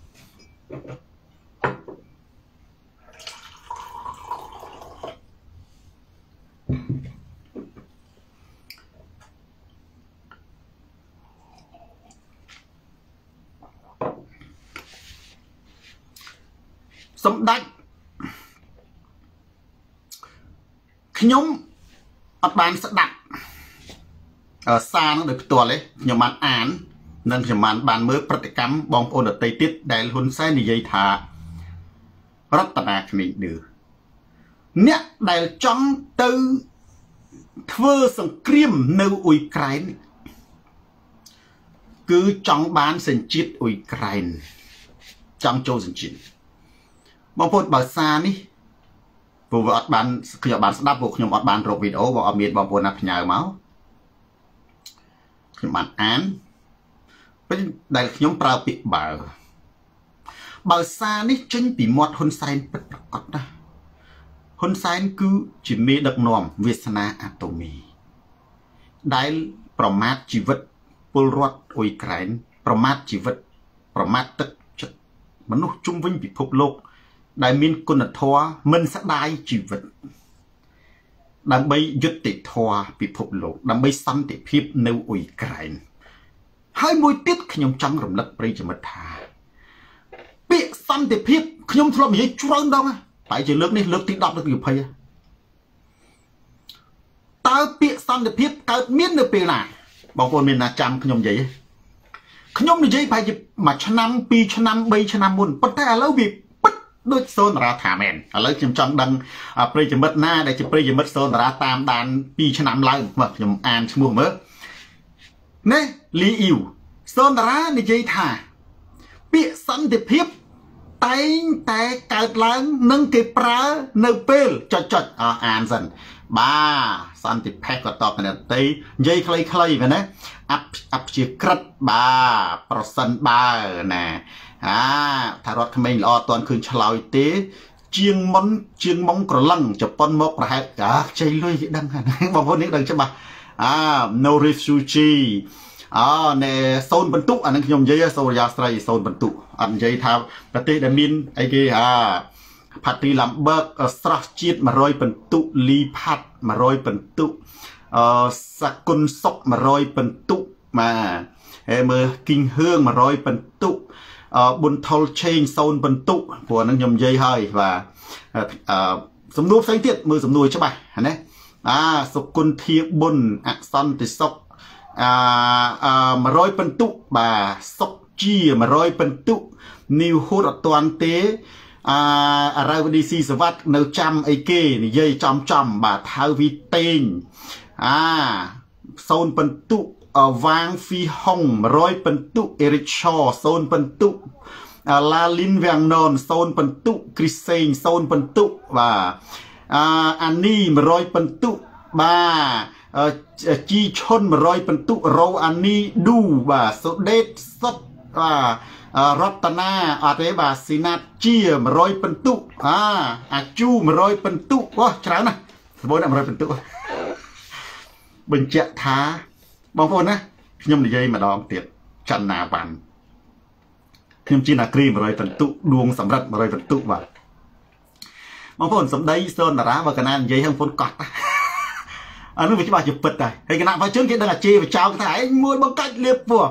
សូនតារានិយាយយូរហើយមួយឆ្នាំពីរឆ្នាំបីឆ្នាំឲ្យខ្ញុំអាសានទិញពាក្យហ្នឹងហើយអុកចុកផែនជប៉ុនខ្ញុំថាពាក្យសន្តិភាព គេតែងតែប្រើនៅក្នុងប្រទេសដែលមានសង្គ្រាម កំពុងកើតសង្គ្រាម ឬប្រទេសដែលកំពុងតែមានអសន្តិសុខសង្គមសិនសវណ្ណរា មិនចឹងហើយខ្ញុំបានលើកហេតុផលឲ្យបងប្អូនមើលដូចជាប្រទេសអាមេរិកខ្ញុំដែរអរគុណសន្តិភាពណាប្រាំងដែរអរគុណសន្តិភាពឯណាបងប្អូនចាំអានឹងសច្ចធម៌ណាគ្រាន់តែខ្ញុំនិយាយបងប្អូនគ្រាន់តែគណៈប្រជជននិយាយគាត់ជឿទេគេគេនេះណា គេគេផ្ចាញ់គេផ្ចាល់គេថាអញ្ចឹងទៅអង្គរសវណ្ណភូមិប៉ុន្តែស្រាប់តែពេលក្រោយពេលរុស្ស៊ីវាយអ៊ុយក្រែនណា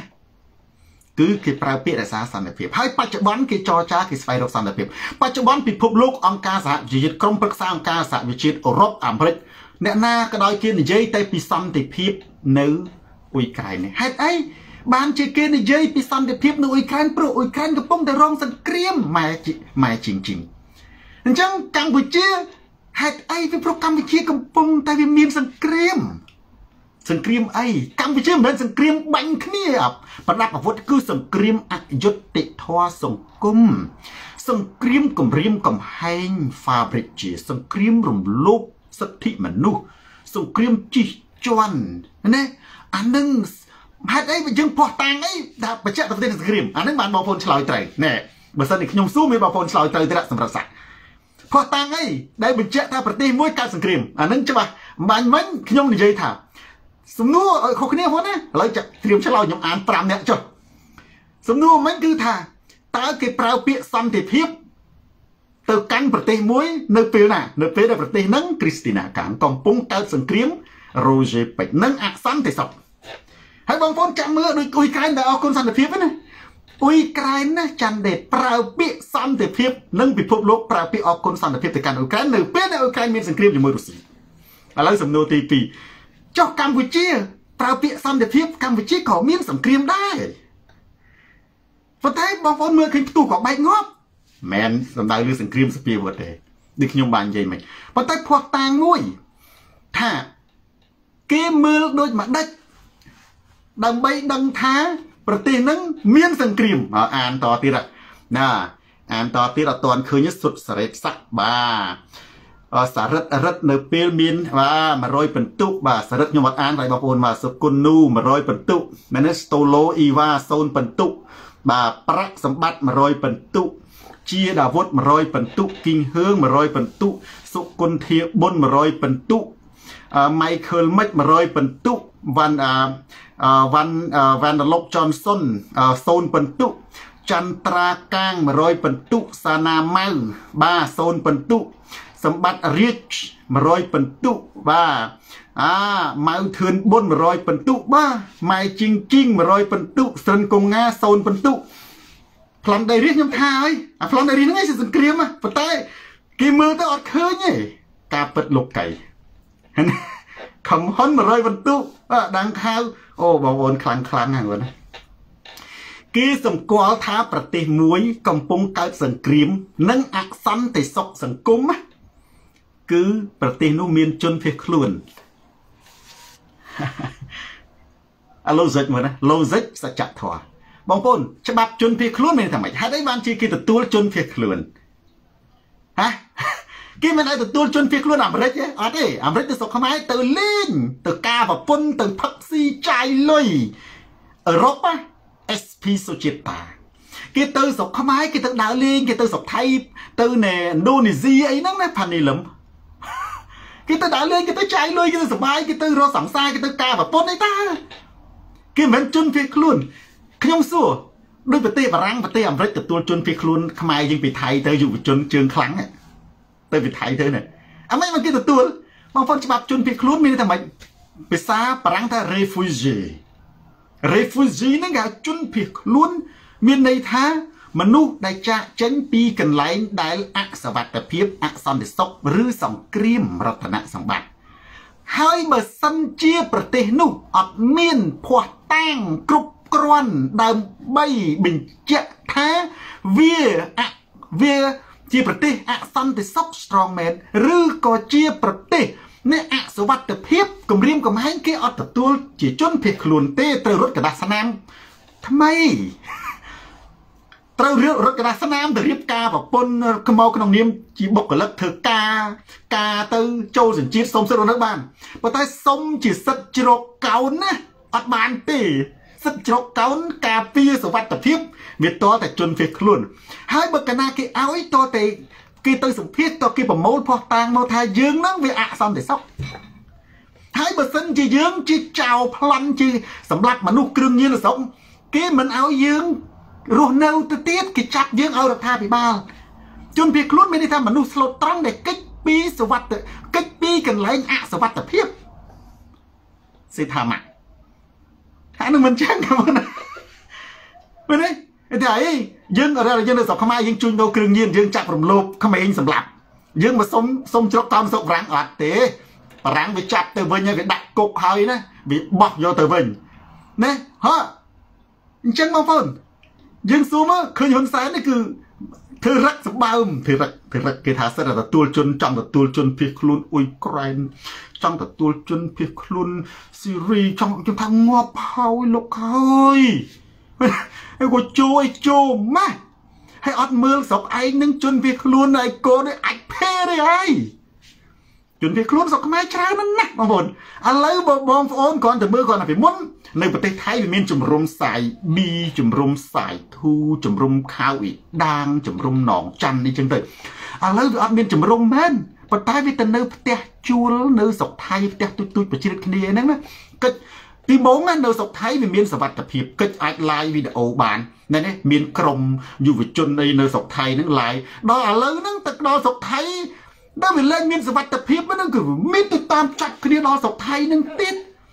អាហ្នឹងសាហាវណាបងណាសាហាវចំហាយបីសាច់នៅកម្ពុជានោះវាឆ្លងទៅដល់គ្នាចេញផុតពីទឹកដីកម្ពុជាទៅតាមចាត់គ្នាហ្នឹងយកមកដាក់គុកនៅក្នុងស្រុកខ្មែរទៅទៀតអញ្ចឹងបងប្អូនសំណួរនេះបងប្អូនកាន់តែមើលកាន់តែលោសេចចំណាបានហើយពាក្យដែលសូនតារានិយាយយូរហើយ បងប្អូនអត់មានអីវាស់អត់មានអីបង្ហាញថាសម្ដីសូនតារានឹងសច្ចធម៌ពិតវានឹងបង្ហាញនៅពេលសភាពការបច្ចុប្បន្នសូនតារានិយាយថាពាក្យសន្តិភាពនិងអគុណសន្តិភាព គេតែងតែប្រើនៅក្នុងប្រទេសដែលកំពុងតែកើតសង្គ្រាម និងអសន្តិសុខសង្គមពីព្រោះប្រទេសដូចជានៅអឺរ៉ុបអឺជឿនលឿនដូចនៅអាមេរិកអីគេអត់ដែលប្រើពាក្យសន្តិភាពទេព្រោះប្រទេសនោះវាអត់មានសង្គ្រាមណា មួយតើគេសម្គាល់ថាប្រទេសមួយកំពុងតែមានសង្គ្រាមនិងអសន្តិសុខតាមរយៈអីព្រោះពេលខ្លះប្រទេសខ្លះកើតសង្គ្រាមអសន្តិសុខវាអត់មានឃើញក្របបែកផ្ទុះខ្ទេចអាគារបាញ់គ្នាអីបានទេ គេសម្គាល់តាមរយៈប្រទេសនោះមានជនភៀសខ្លួនហើយចុះច្បាប់ជនភៀសខ្លួនមានតែម៉េចច្បាប់ជនភៀសខ្លួនគេទទួលបានវាទាល់តែណាមុខបូព៌ាមានភ័ស្តុតាងបញ្ជាក់ថាប្រទេសនោះវាអញ្ចឹង มันអាចបណ្ឌិតបានទេហើយគេថាអីហើយចុះណែអាមេរិកទៅនៅស្រុកខ្មែរទៅកំពង់សោមអីមកគ្រប់អានោះមិនជនភៀសខ្លួនទេណាជាអ្នកទេសចរឬក៏អន្តោប្រវេសន៍ស្របច្បាប់នៅបារាំងក៏មានដែរអ្នកអន្តេសចរអន្តោប្រវេសន៍ស្របច្បាប់នៅអាមេរិកក៏មានដែរប្រៀបអន្តោប្រវេសន៍ស្របច្បាប់ហើយទៅដល់ទៅគាត់ អត់ចង់ត្រឡប់មកវិញគាត់រត់ឯកសារផ្សេងផ្សេងទៅខ្លះដាក់ជារៀបការខ្លះដាក់ជាកូនធွာខ្លះដាក់ជានិស្សិតខ្លះអីយើងដើម្បីបាននៅតទៀតយូរយូរទៅឯកសារប្រែខ្លាយប៉ុន្តែដើម្បីណាមានដូចជាយុវជនយើងដូចជាកឹមសុកអីហ្នឹងមិនជន់ភៀសខ្លួនមិនបានគេទទួលកឹមសុកដឹកចេញពីសុកថៃមកលឿនមែនដោយសារវាអសវត្ថភាពនៅក្នុងកម្ពុជាបាទ ហើយដូចគ្នាយើងនៅអឺរ៉ុបអីហ្នឹងទាំងអស់ហើយហ្នឹងមិនសិនជនភៀសខ្លួនដូចយុវជនយើងទៅកាណាដានិងនិងអាមេរិកបច្ចុប្បន្នហ្នឹងមិនសិនជនភៀសខ្លួនណាហើយចុះសួរថាតើអាមេរិកបារាំងអឺរ៉ុបជប៉ុនមានជនភៀសខ្លួនស្រុកខ្មែរអត់ទេមានអ្នកទេសចរព្រោះ សុំមិនបើស្រុកជប៉ុនអត់មានការគម្រាមកំហែងអត់មានការភ័យខ្លាចអត់មានសន្តិអសន្តិសុខសុវត្ថិភាពផងនោះអានឹងភ័ស្តុតាមច្បាស់បងប្អូនពេលដែលបងចឹងបានទូរទស្សន៍សនរាល្បីល្បាញពេញពិភពលោកអ្នកណាណាក៏មើលពោលថាសម្ដីនឹងវាសច្ចធម៌និយាយទៅវាការពិតណាទោះជាខ្ញុំនិយាយមុនបងប្អូនមិនទាន់មានរង្វាស់មានទាន់មានភ័ស្តុតាងបញ្ជាក់ថាមកសំអាងអីថាសម្ដីអ្វីដែលសនរានិយាយពិតឥឡូវវាឃើញពិតហើយវាឃើញពិតហើយហើយហ៊ុនសែនធ្វើជាអ្នកសម្បើមទទួលជនភៀសខ្លួនខ្ញុំថាមានពេលខ្លះវា ដឹងនិយាយថាម៉េចហ្នឹងណាអត់មើលប្រទេសឯងនឹងជនភៀសខ្លួនប្រហែលហើយអរគុណសន្តិភាពចូលប្លង់អ្វីដែលសនតារានិយាយទាំងអស់សុជាតិកូនខ្មែរកណ្ដាលចិនប្រិយមិត្តអានេះយើងយើងត្រឡប់មើលរឿងនឹងវិញមែនទេគឺខ្ញុំគ្រាន់តែចង់លើកប្រធានបទអមទេថាបើដូចហ៊ុនសែនគាត់និយាយមែនជាការប្រមាថណាបងប្អូនមនុស្សទៅអ៊ុយក្រែនអ្នកណាក៏ដឹងថាស្លាប់ដែរណាហើយអ្នកដែលទៅជួយអ៊ុយក្រែនអត់ទាន់មានអាស៊ីយើងតិចណា អាស៊ីយើងមិនទាន់ដល់10%ផងភាគច្រើនអាមេរិកនិងអឺរ៉ុបអាមេរិកបងប្អូនគេទៅចង់បានសញ្ជាតិអ៊ុយក្រែនរឿងអីហ៎ហើយអាយ៉ាងម៉េចគិតតែពីគណៈបកប្រជាជនហ្នឹងណាខំប្រឹងទៅទិញសញ្ជាតិគេនឹងបែបសម័យឃើញថាគេទៅដូរជីវិតបងប្អូនជីវិតថ្លៃណាគេលះបង់គេចំណាយគេដឹងទៅនឹងគេគេអត់ចង់មកវិញទេគេអត់ចង់គេដឹងតែងាប់ហើយប៉ុន្តែមានអ្នកខ្លះបងប្អូននៅក្នុងរឿងចិននិយាយមានរឿងខ្លះរីជូវាសច្ចធម៌ដែរ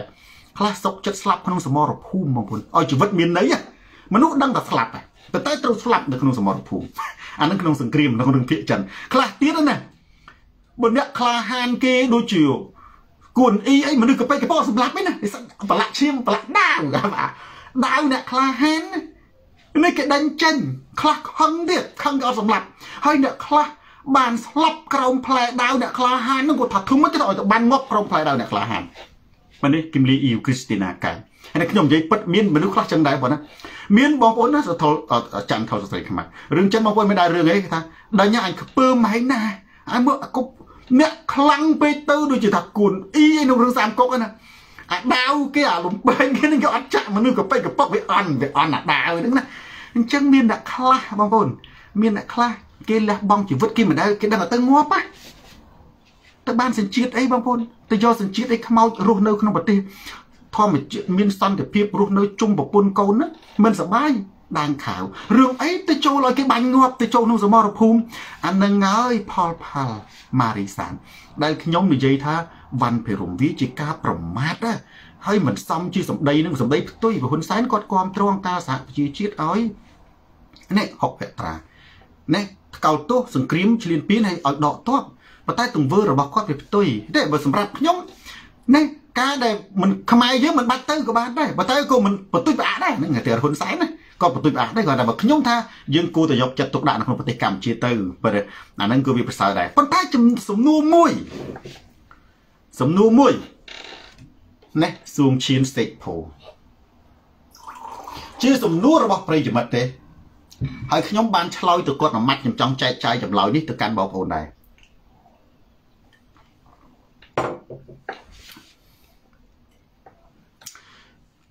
គាត់សួរខ្ញុំថាហើយខ្ញុំធ្លាប់និយាយម្ដងតែបងប្អូនចាប់អារម្មណ៍ដោយសារពាក្យហ្នឹងខ្ញុំអត់ធ្វើប្រធានបទខ្ញុំនិយាយមួយម៉ាត់ចោលតែខ្ញុំនិយាយម្ដងទៀតម៉ែជាងជាងគាត់សួរខ្ញុំថាលោកគ្រូរុស្ស៊ីថាໄວតែ48ម៉ោង2ថ្ងៃទេនឹងកាន់កាប់ហើយដាក់អាយ៉ងប៉ុន្តែឥឡូវរហូតដល់4សប្តាហ៍ឥឡូវនេះ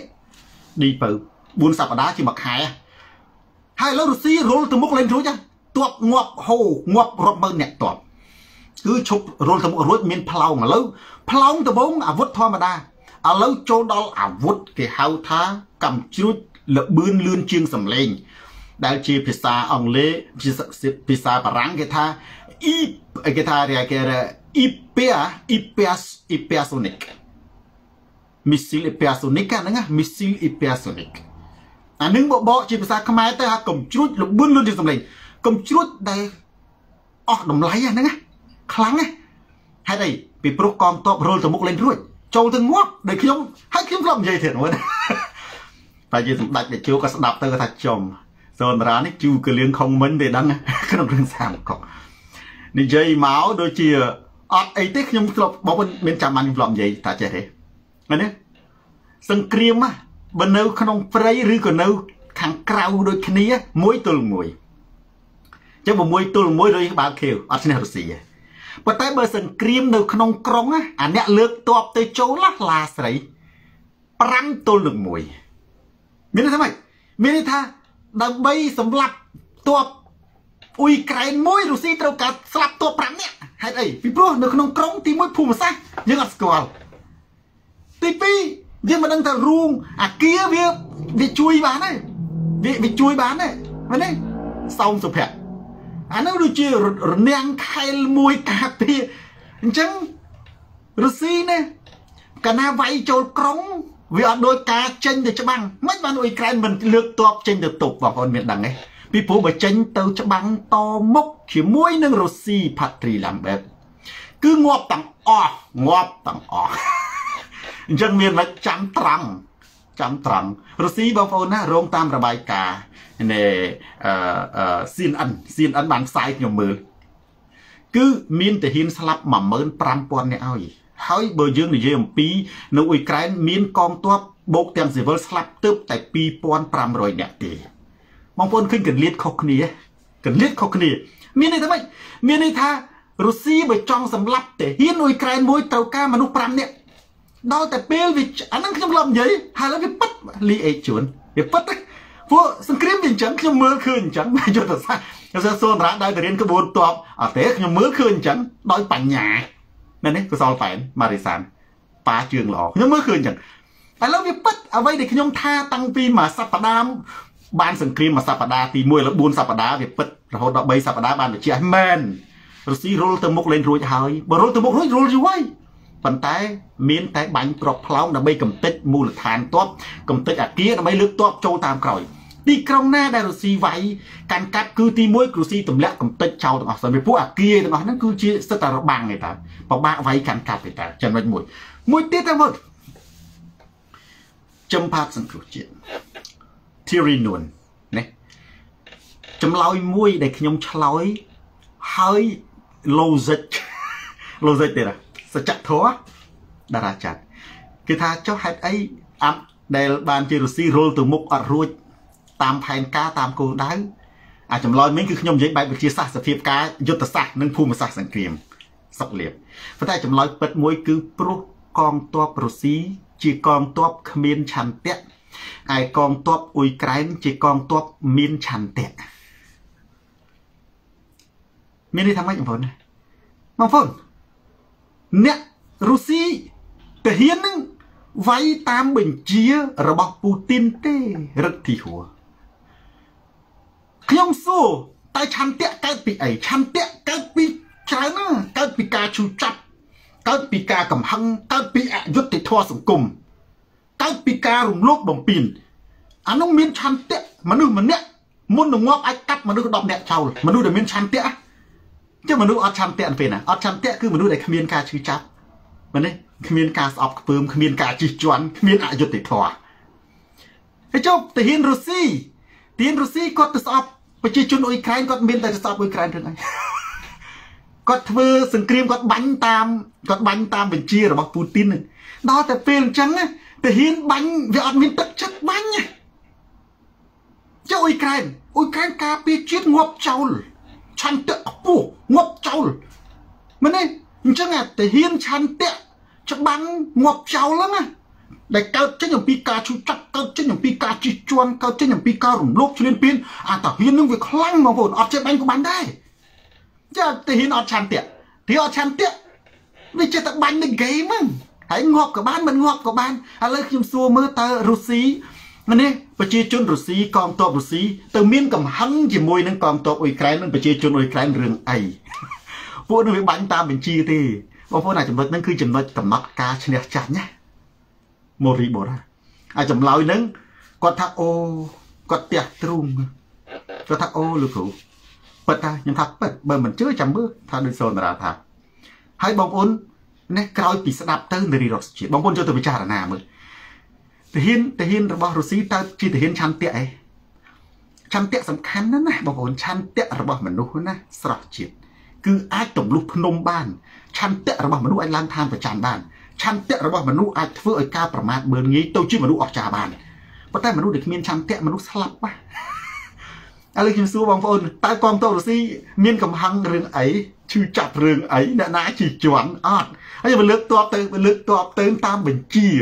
អញ្ចឹងហើយបានវាងាប់ច្រើនណាស់ហើយដល់ទៅពេលឃើញងាប់ច្រើនទៀតបុកនឹងអត់មានឆន្ទៈទៀត dictator hunter រត់តែរត់តែរាថយបងប្អូនណាប៉ុន្តែថយវាមិនបានគឺមានតែបាញ់មែនទេ គេចុះទៅហ៊ានអ៊ុយក្រែន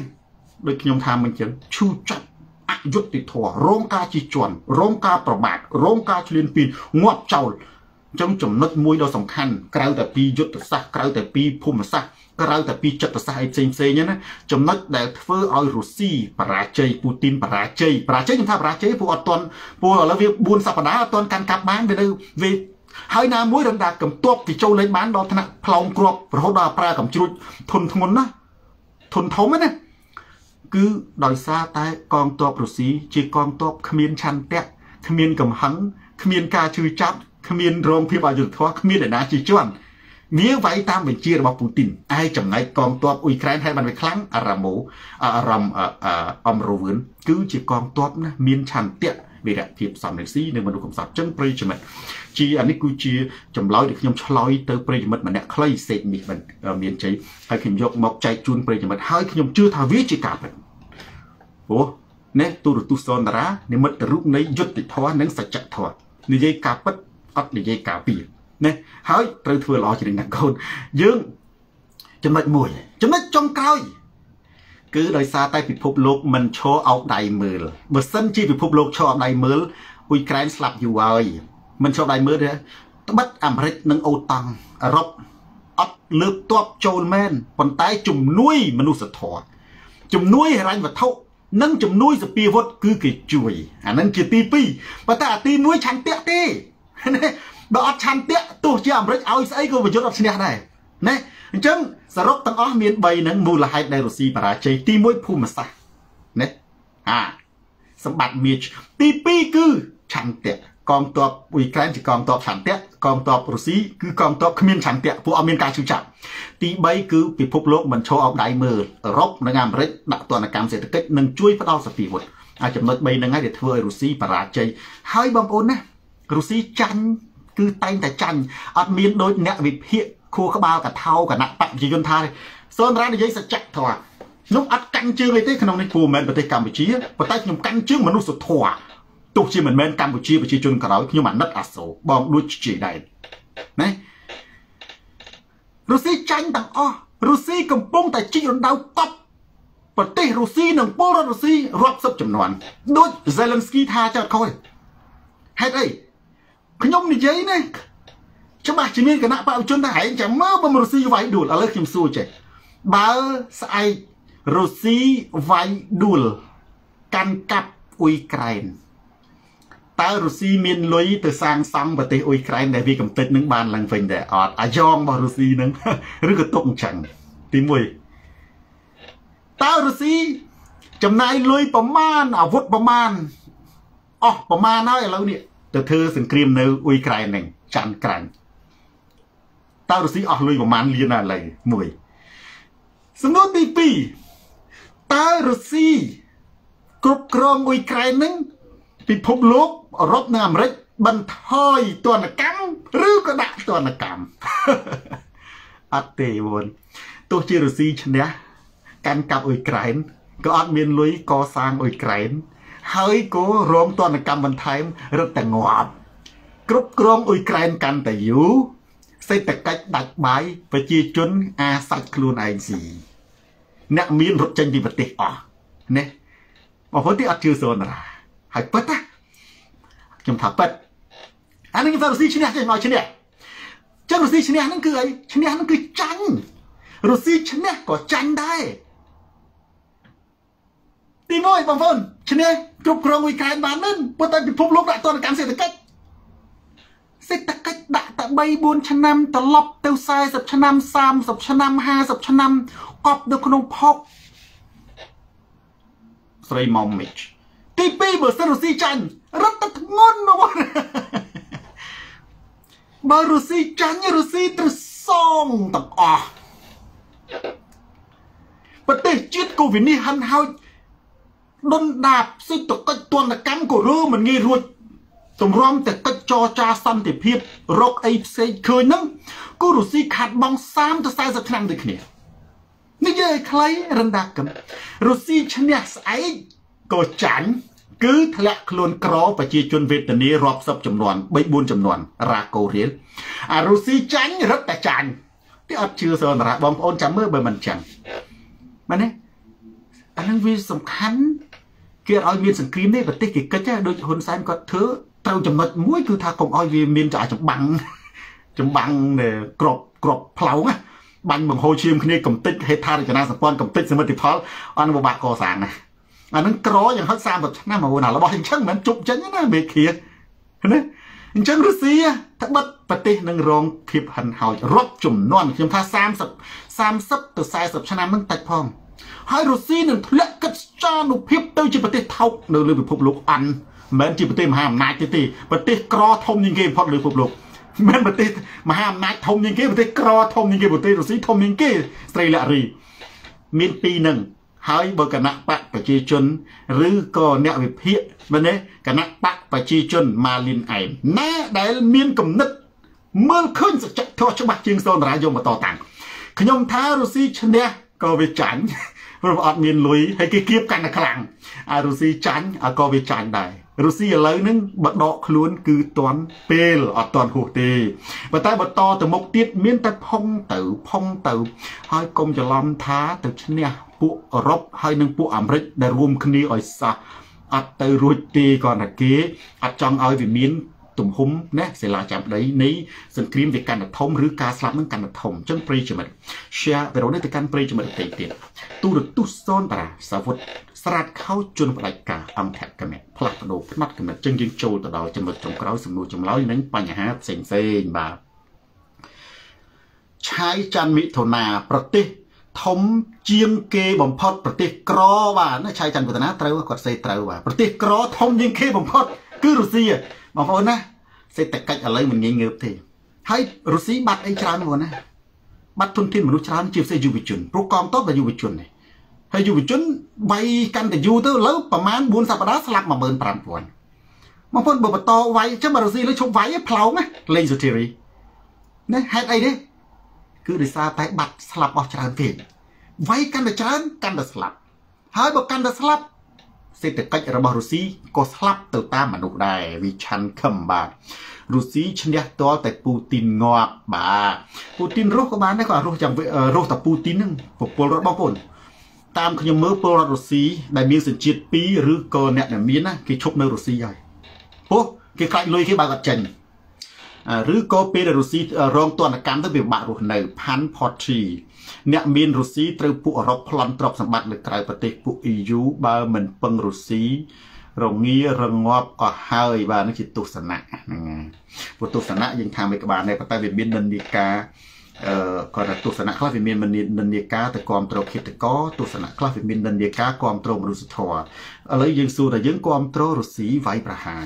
តែយើងគ្រប់គ្រងការសម្លាប់មនុស្សហើយភាគច្រើនអ្នកដែលគ្រប់គ្រងរុស្ស៊ីវាយប្រហារជាគណៈបកប្រជាជនប៉ុន្តែយើងចេះឆ្ងល់ថាហេតុអីបានជាគណៈបកប្រជាជនរំលឹកខួប7មករារំដោះជាតិចេញពីរបបបល័យពុសាសមិនបានជាពួកគេមិនចាប់ហ៊ុនសែនហេងសំរិនជាស៊ីមដាក់គុកហើយលើកដំកើងប៉ុលពតទៅជាមេដឹកនាំ បើសិនជាពួកគេគ្រប់គ្រងការកាប់សម្លាប់ពួកនៅលើពិភពលោកម្សិលមិញនេះគឺនៅអង្គការសហជីវជាតិនឹងប្រទេសគ្រប់ប្រទេសគេស្ដីឲ្យរុស្ស៊ីហើយរុស្ស៊ីទៅចោទព័ត៌មានคล้ายคล้ายប្រឌិត website ឯណាថាមានជាតិអាវុធគីមីឯណាគេស្ដីឲ្យអាម៉ាស់ខ្មាស់គេពេញអង្គការសហជីវជាតិម្សិលមិញហ្នឹងអញ្ចឹងបងប្អូនណាយើងវាអត់ដឹងដែរយើងអត់ដឹងដែរណាគាត់ថាបើសកម្មភាពនយោបាយវាមិនដឹងទេណាគ្រាន់តែថារឿងប្រទេសរុស្ស៊ីធ្លាប់រងទណ្ឌកម្មម្ដងឯងខ្លាចដឹងឯង ខ្លះដឹងថាហើយបើឲ្យរុស្ស៊ីរងទណ្ឌកម្មពិភពលោកក៏ងាប់ដែរច្រឡំអាតាបអតញ្ញហើយមែនទេពិភពលោកក្នុងអំឡុងពេលដែលដាក់ភ្លាមភ្លាមមួយឆ្នាំពីរឆ្នាំណាវាអាចឈឺតិចដែរព្រោះធម្មតាយើងដៅគេវាត្រូវតែឈឺដៃខ្លួនឯងខ្លះហើយព្រោះគេរឹងណាព្រោះនេះច្បាប់រូបវិទ្យាច្បាប់ញូតុនបើកាលណាយើងដៅអញ្ចឹងម្ដាយដៃវាដៅពីយើងបើកាលណាយើងដៅរុស្ស៊ីពិភពលោកវាត្រូវតែឈឺខ្លះហើយជារឿងធម្មតា ប៉ុន្តែគេទុកបានបងប្អូនណាយុសវឿនធឿនគេទុកបាន តែកាលណាគេទុកបានហើយរុស្ស៊ីឯកោហើយពិភពលោកនឹងគឺស្អុយហើយគេអត់ពិភពលោកអត់ត្រូវការពឹងរុស្ស៊ីរុស្ស៊ីត្រូវការពឹងពិភពលោកហើយនេះអើតែជីវលេងមួយមួយទៀតបងប្អូនណាអ្នកខ្លះអត់ដឹងថាកាលពីសហភាពសូវៀតរងទណ្ឌកម្មសំបីតែប្រុសប្រុសអត់មានខោស្លៀកផងឃើញទេប្រុសប្រុសអត់មានខោស្លៀកផងខ្លះមានខោកបយមួយ ទៅប៉ុននឹងចែកគ្នាស្លៀកញ៉ែញ៉ែណែញ៉ែគ្នាទេបងប្អូនណាចែកគ្នាក្លៀកងួតសង្សារទេខោកបយមួយស្លៀក3នាក់ដូរវេនគ្នាបោកណាកាលពីសហភាពសូវៀតរងទណ្ឌកម្មពីដែលសហភាពសូវៀតរងទណ្ឌកម្មពិភពលោកអត់មានអីទេឃើញទេដូចគ្នាឥឡូវនេះឧទាហរណ៍ថាពិភពលោករុស្ស៊ីចង់ឲ្យទៅរងទណ្ឌកម្មទៅជាខោមួយស្លៀកគ្នា3នាក់ទៀតក៏បាន ប៉ុន្តែក្នុងអំឡុងពេលមួយឆ្នាំពីរឆ្នាំឧទាហរណ៍ចេះមួយឆ្នាំថាពីរឆ្នាំចុះការដែលដាក់ទណ្ឌកម្មហ្នឹងវានឹងរងផលប៉ះពាល់ខ្លះដល់ពិភពលោកត្រង់តំណែងឡើងថ្លៃជាពិសេសសាំងឬក៏គាំងនៅសេដ្ឋកិច្ចមួយចំនួនដែលធ្លាប់ធ្វើពាណិជ្ជកម្មជាមួយរុស្ស៊ីបច្ចេកវិទ្យាអីផ្សេងផ្សេងវាមែនបៃ iPhone Shop អាចមួយឆ្នាំពីរខ្ញុំថាពីរឆ្នាំចុះប៉ុន្តែក្រោយពី2ឆ្នាំមកពិភពលោកនឹងថឹងល្អជាងមុនទៅទៀតរុស្ស៊ីគឺជីករណ្ដៅកប់ខ្លួនឯង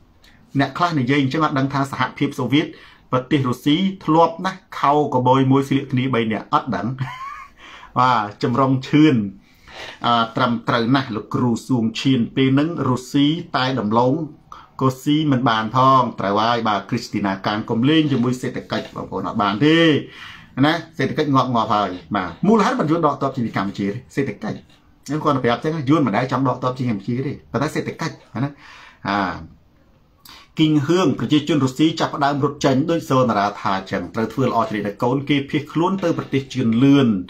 បាទឬក៏ប្រទេសអន់លក្រឺអគេគេមិនដែលទៅចិនទេសំបីអាឆ្កែរត់ចោលសន្តិភាពគណៈបកប្រជាជនហ្នឹងដែលថ្វាយបង្គំចិនលើកដំកើងចិនជេរបចោអាមេរិកហ្នឹងឃើញនៅក្បាលនៅអាមេរិកហ្នឹង មែនទេម្នាក់ម្នាក់ហ្នឹងនិយាយបជាបចោអាមេរិកស្ទើរអាមេរិកហ្នឹងអន់អាមេរិកហ្នឹងលួចសាំងអាមេរិកហ្នឹងចាក់អញ្ចេះអាមេរិកហ្នឹងបាញ់បោះអាមេរិកហ្នឹងនៃប្រទេសអីថាចេះអូឲ្យតែមានព័ត៌មានអាមេរិកណាបាញ់ពួកបស័យប្រសាទផឹកស្រាបាញ់គ្នានេះគេយកទៅផ្សាយប៉ុន្តែពួកអាអ្នកផ្សាយនឹងក្បាលឡាឆ្កែរត់ចោលសន្តិភាពនៅអាមេរិកប្រមាណល្មើមខ្លះធ្លាប់មាននៅនរាហ៊ានមានពិធីក ពាក់បលៅកឯកឧត្តមដែលពិធីកទេបលៅកឯកឧត្តមមែនទេចាអត់អត់មានណែអីទេគាត់តែនិយាយថាសូមអញ្ជើញកញ្ញាសោមភីច្រៀងចម្រៀងមួយបទក្រោមចំណងជើងថាទូកវែងកន្សែងជ័យបារមីដាច់ជោ7មករាគាត់តែអញ្ចឹងភ្លាមណាបលៅកឯកឧត្តមយកមកពាក់គាត់តែកាន់ក្បាលមីក្រូណាតែចុំស្រុកខ្មែរស្រួលហ៎បែ ស្រុកខ្មែរគាត់តែធ្វើវិធីកកាន់ក្បាលមីក្រូមិនតែរៀនសូត្រមិនតែបំរើជាតិអីទេបងណាណាគ្រាន់តែរៀនកាន់អញ្ចឹងមកដូចខ្ញុំនិយាយអញ្ចឹងសូមគោរពអញ្ជើញ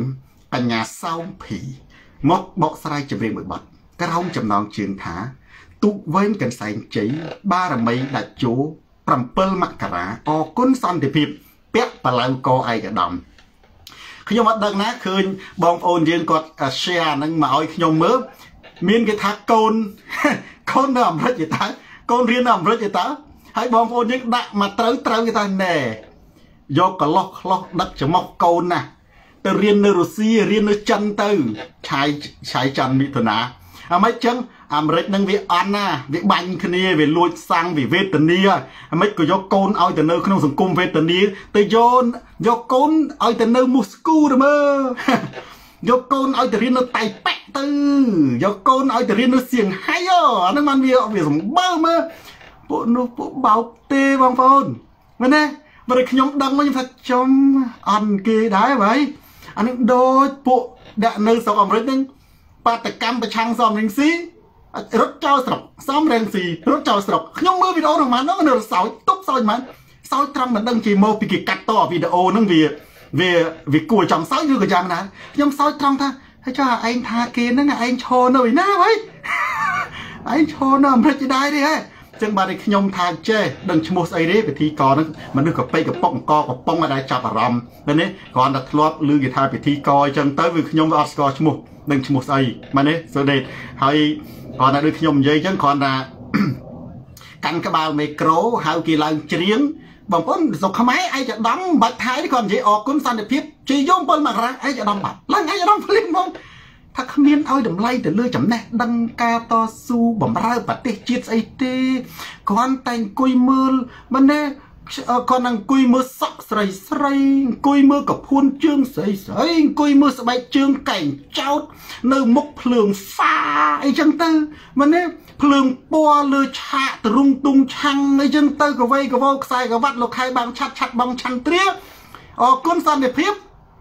យកផ្លូវកោឯកឧត្តមទៅពាក់ឲ្យឯងវាមានដឹងឯណាទៅបងប្អូនប្រាប់ថា កូនឯកឧត្តមនៃកូនពិធីកពាក់បលៅកឯកឧត្តមហ្នឹងរៀននៅអាមេរិកជាតើតែមានបងប្អូនថាហើយយកមិនមកយកកូនទៅរៀននៅមូស្គូឯតៃប៉ែវ៉ៃអាត្រូវរបស់គេដែរមានពេលខ្លះមនុស្សលះអត់ចិត្តមកណានេះសៃហាយិនហើយមានពេលខ្លះហ្នឹងវាឡងមកតែខ្លួនឯងមនុស្សដែលធ្វើខុសដែលនិយាយអត់សច្ចធម៌អត់ការពិតវាឡងណាយូអៀងរៃក្បាលគឺមកជន់តែកែងខ្លួនឯងនឹងបាទ អាស្រីឡៃស្ទឹងត្រែងពូកែនិយាយណាពូតារាសារិន និងម៉ារីសានដូចជាតដែលតដែលបងប្អូនលេងមានសំណួរហ៎បាទអជូឡូហ៊ឿនយឹមបាទហៅគាត់ទៅសេវែងផាទីឡាំបឺកនិងសិលាចាំប្តីឆ្លោយទៅនៅដតីចាំឈឿងអារម្មណ៍អាអំរំអញ្ចឹងអ៊ីនរំអំរំឯគេបាទ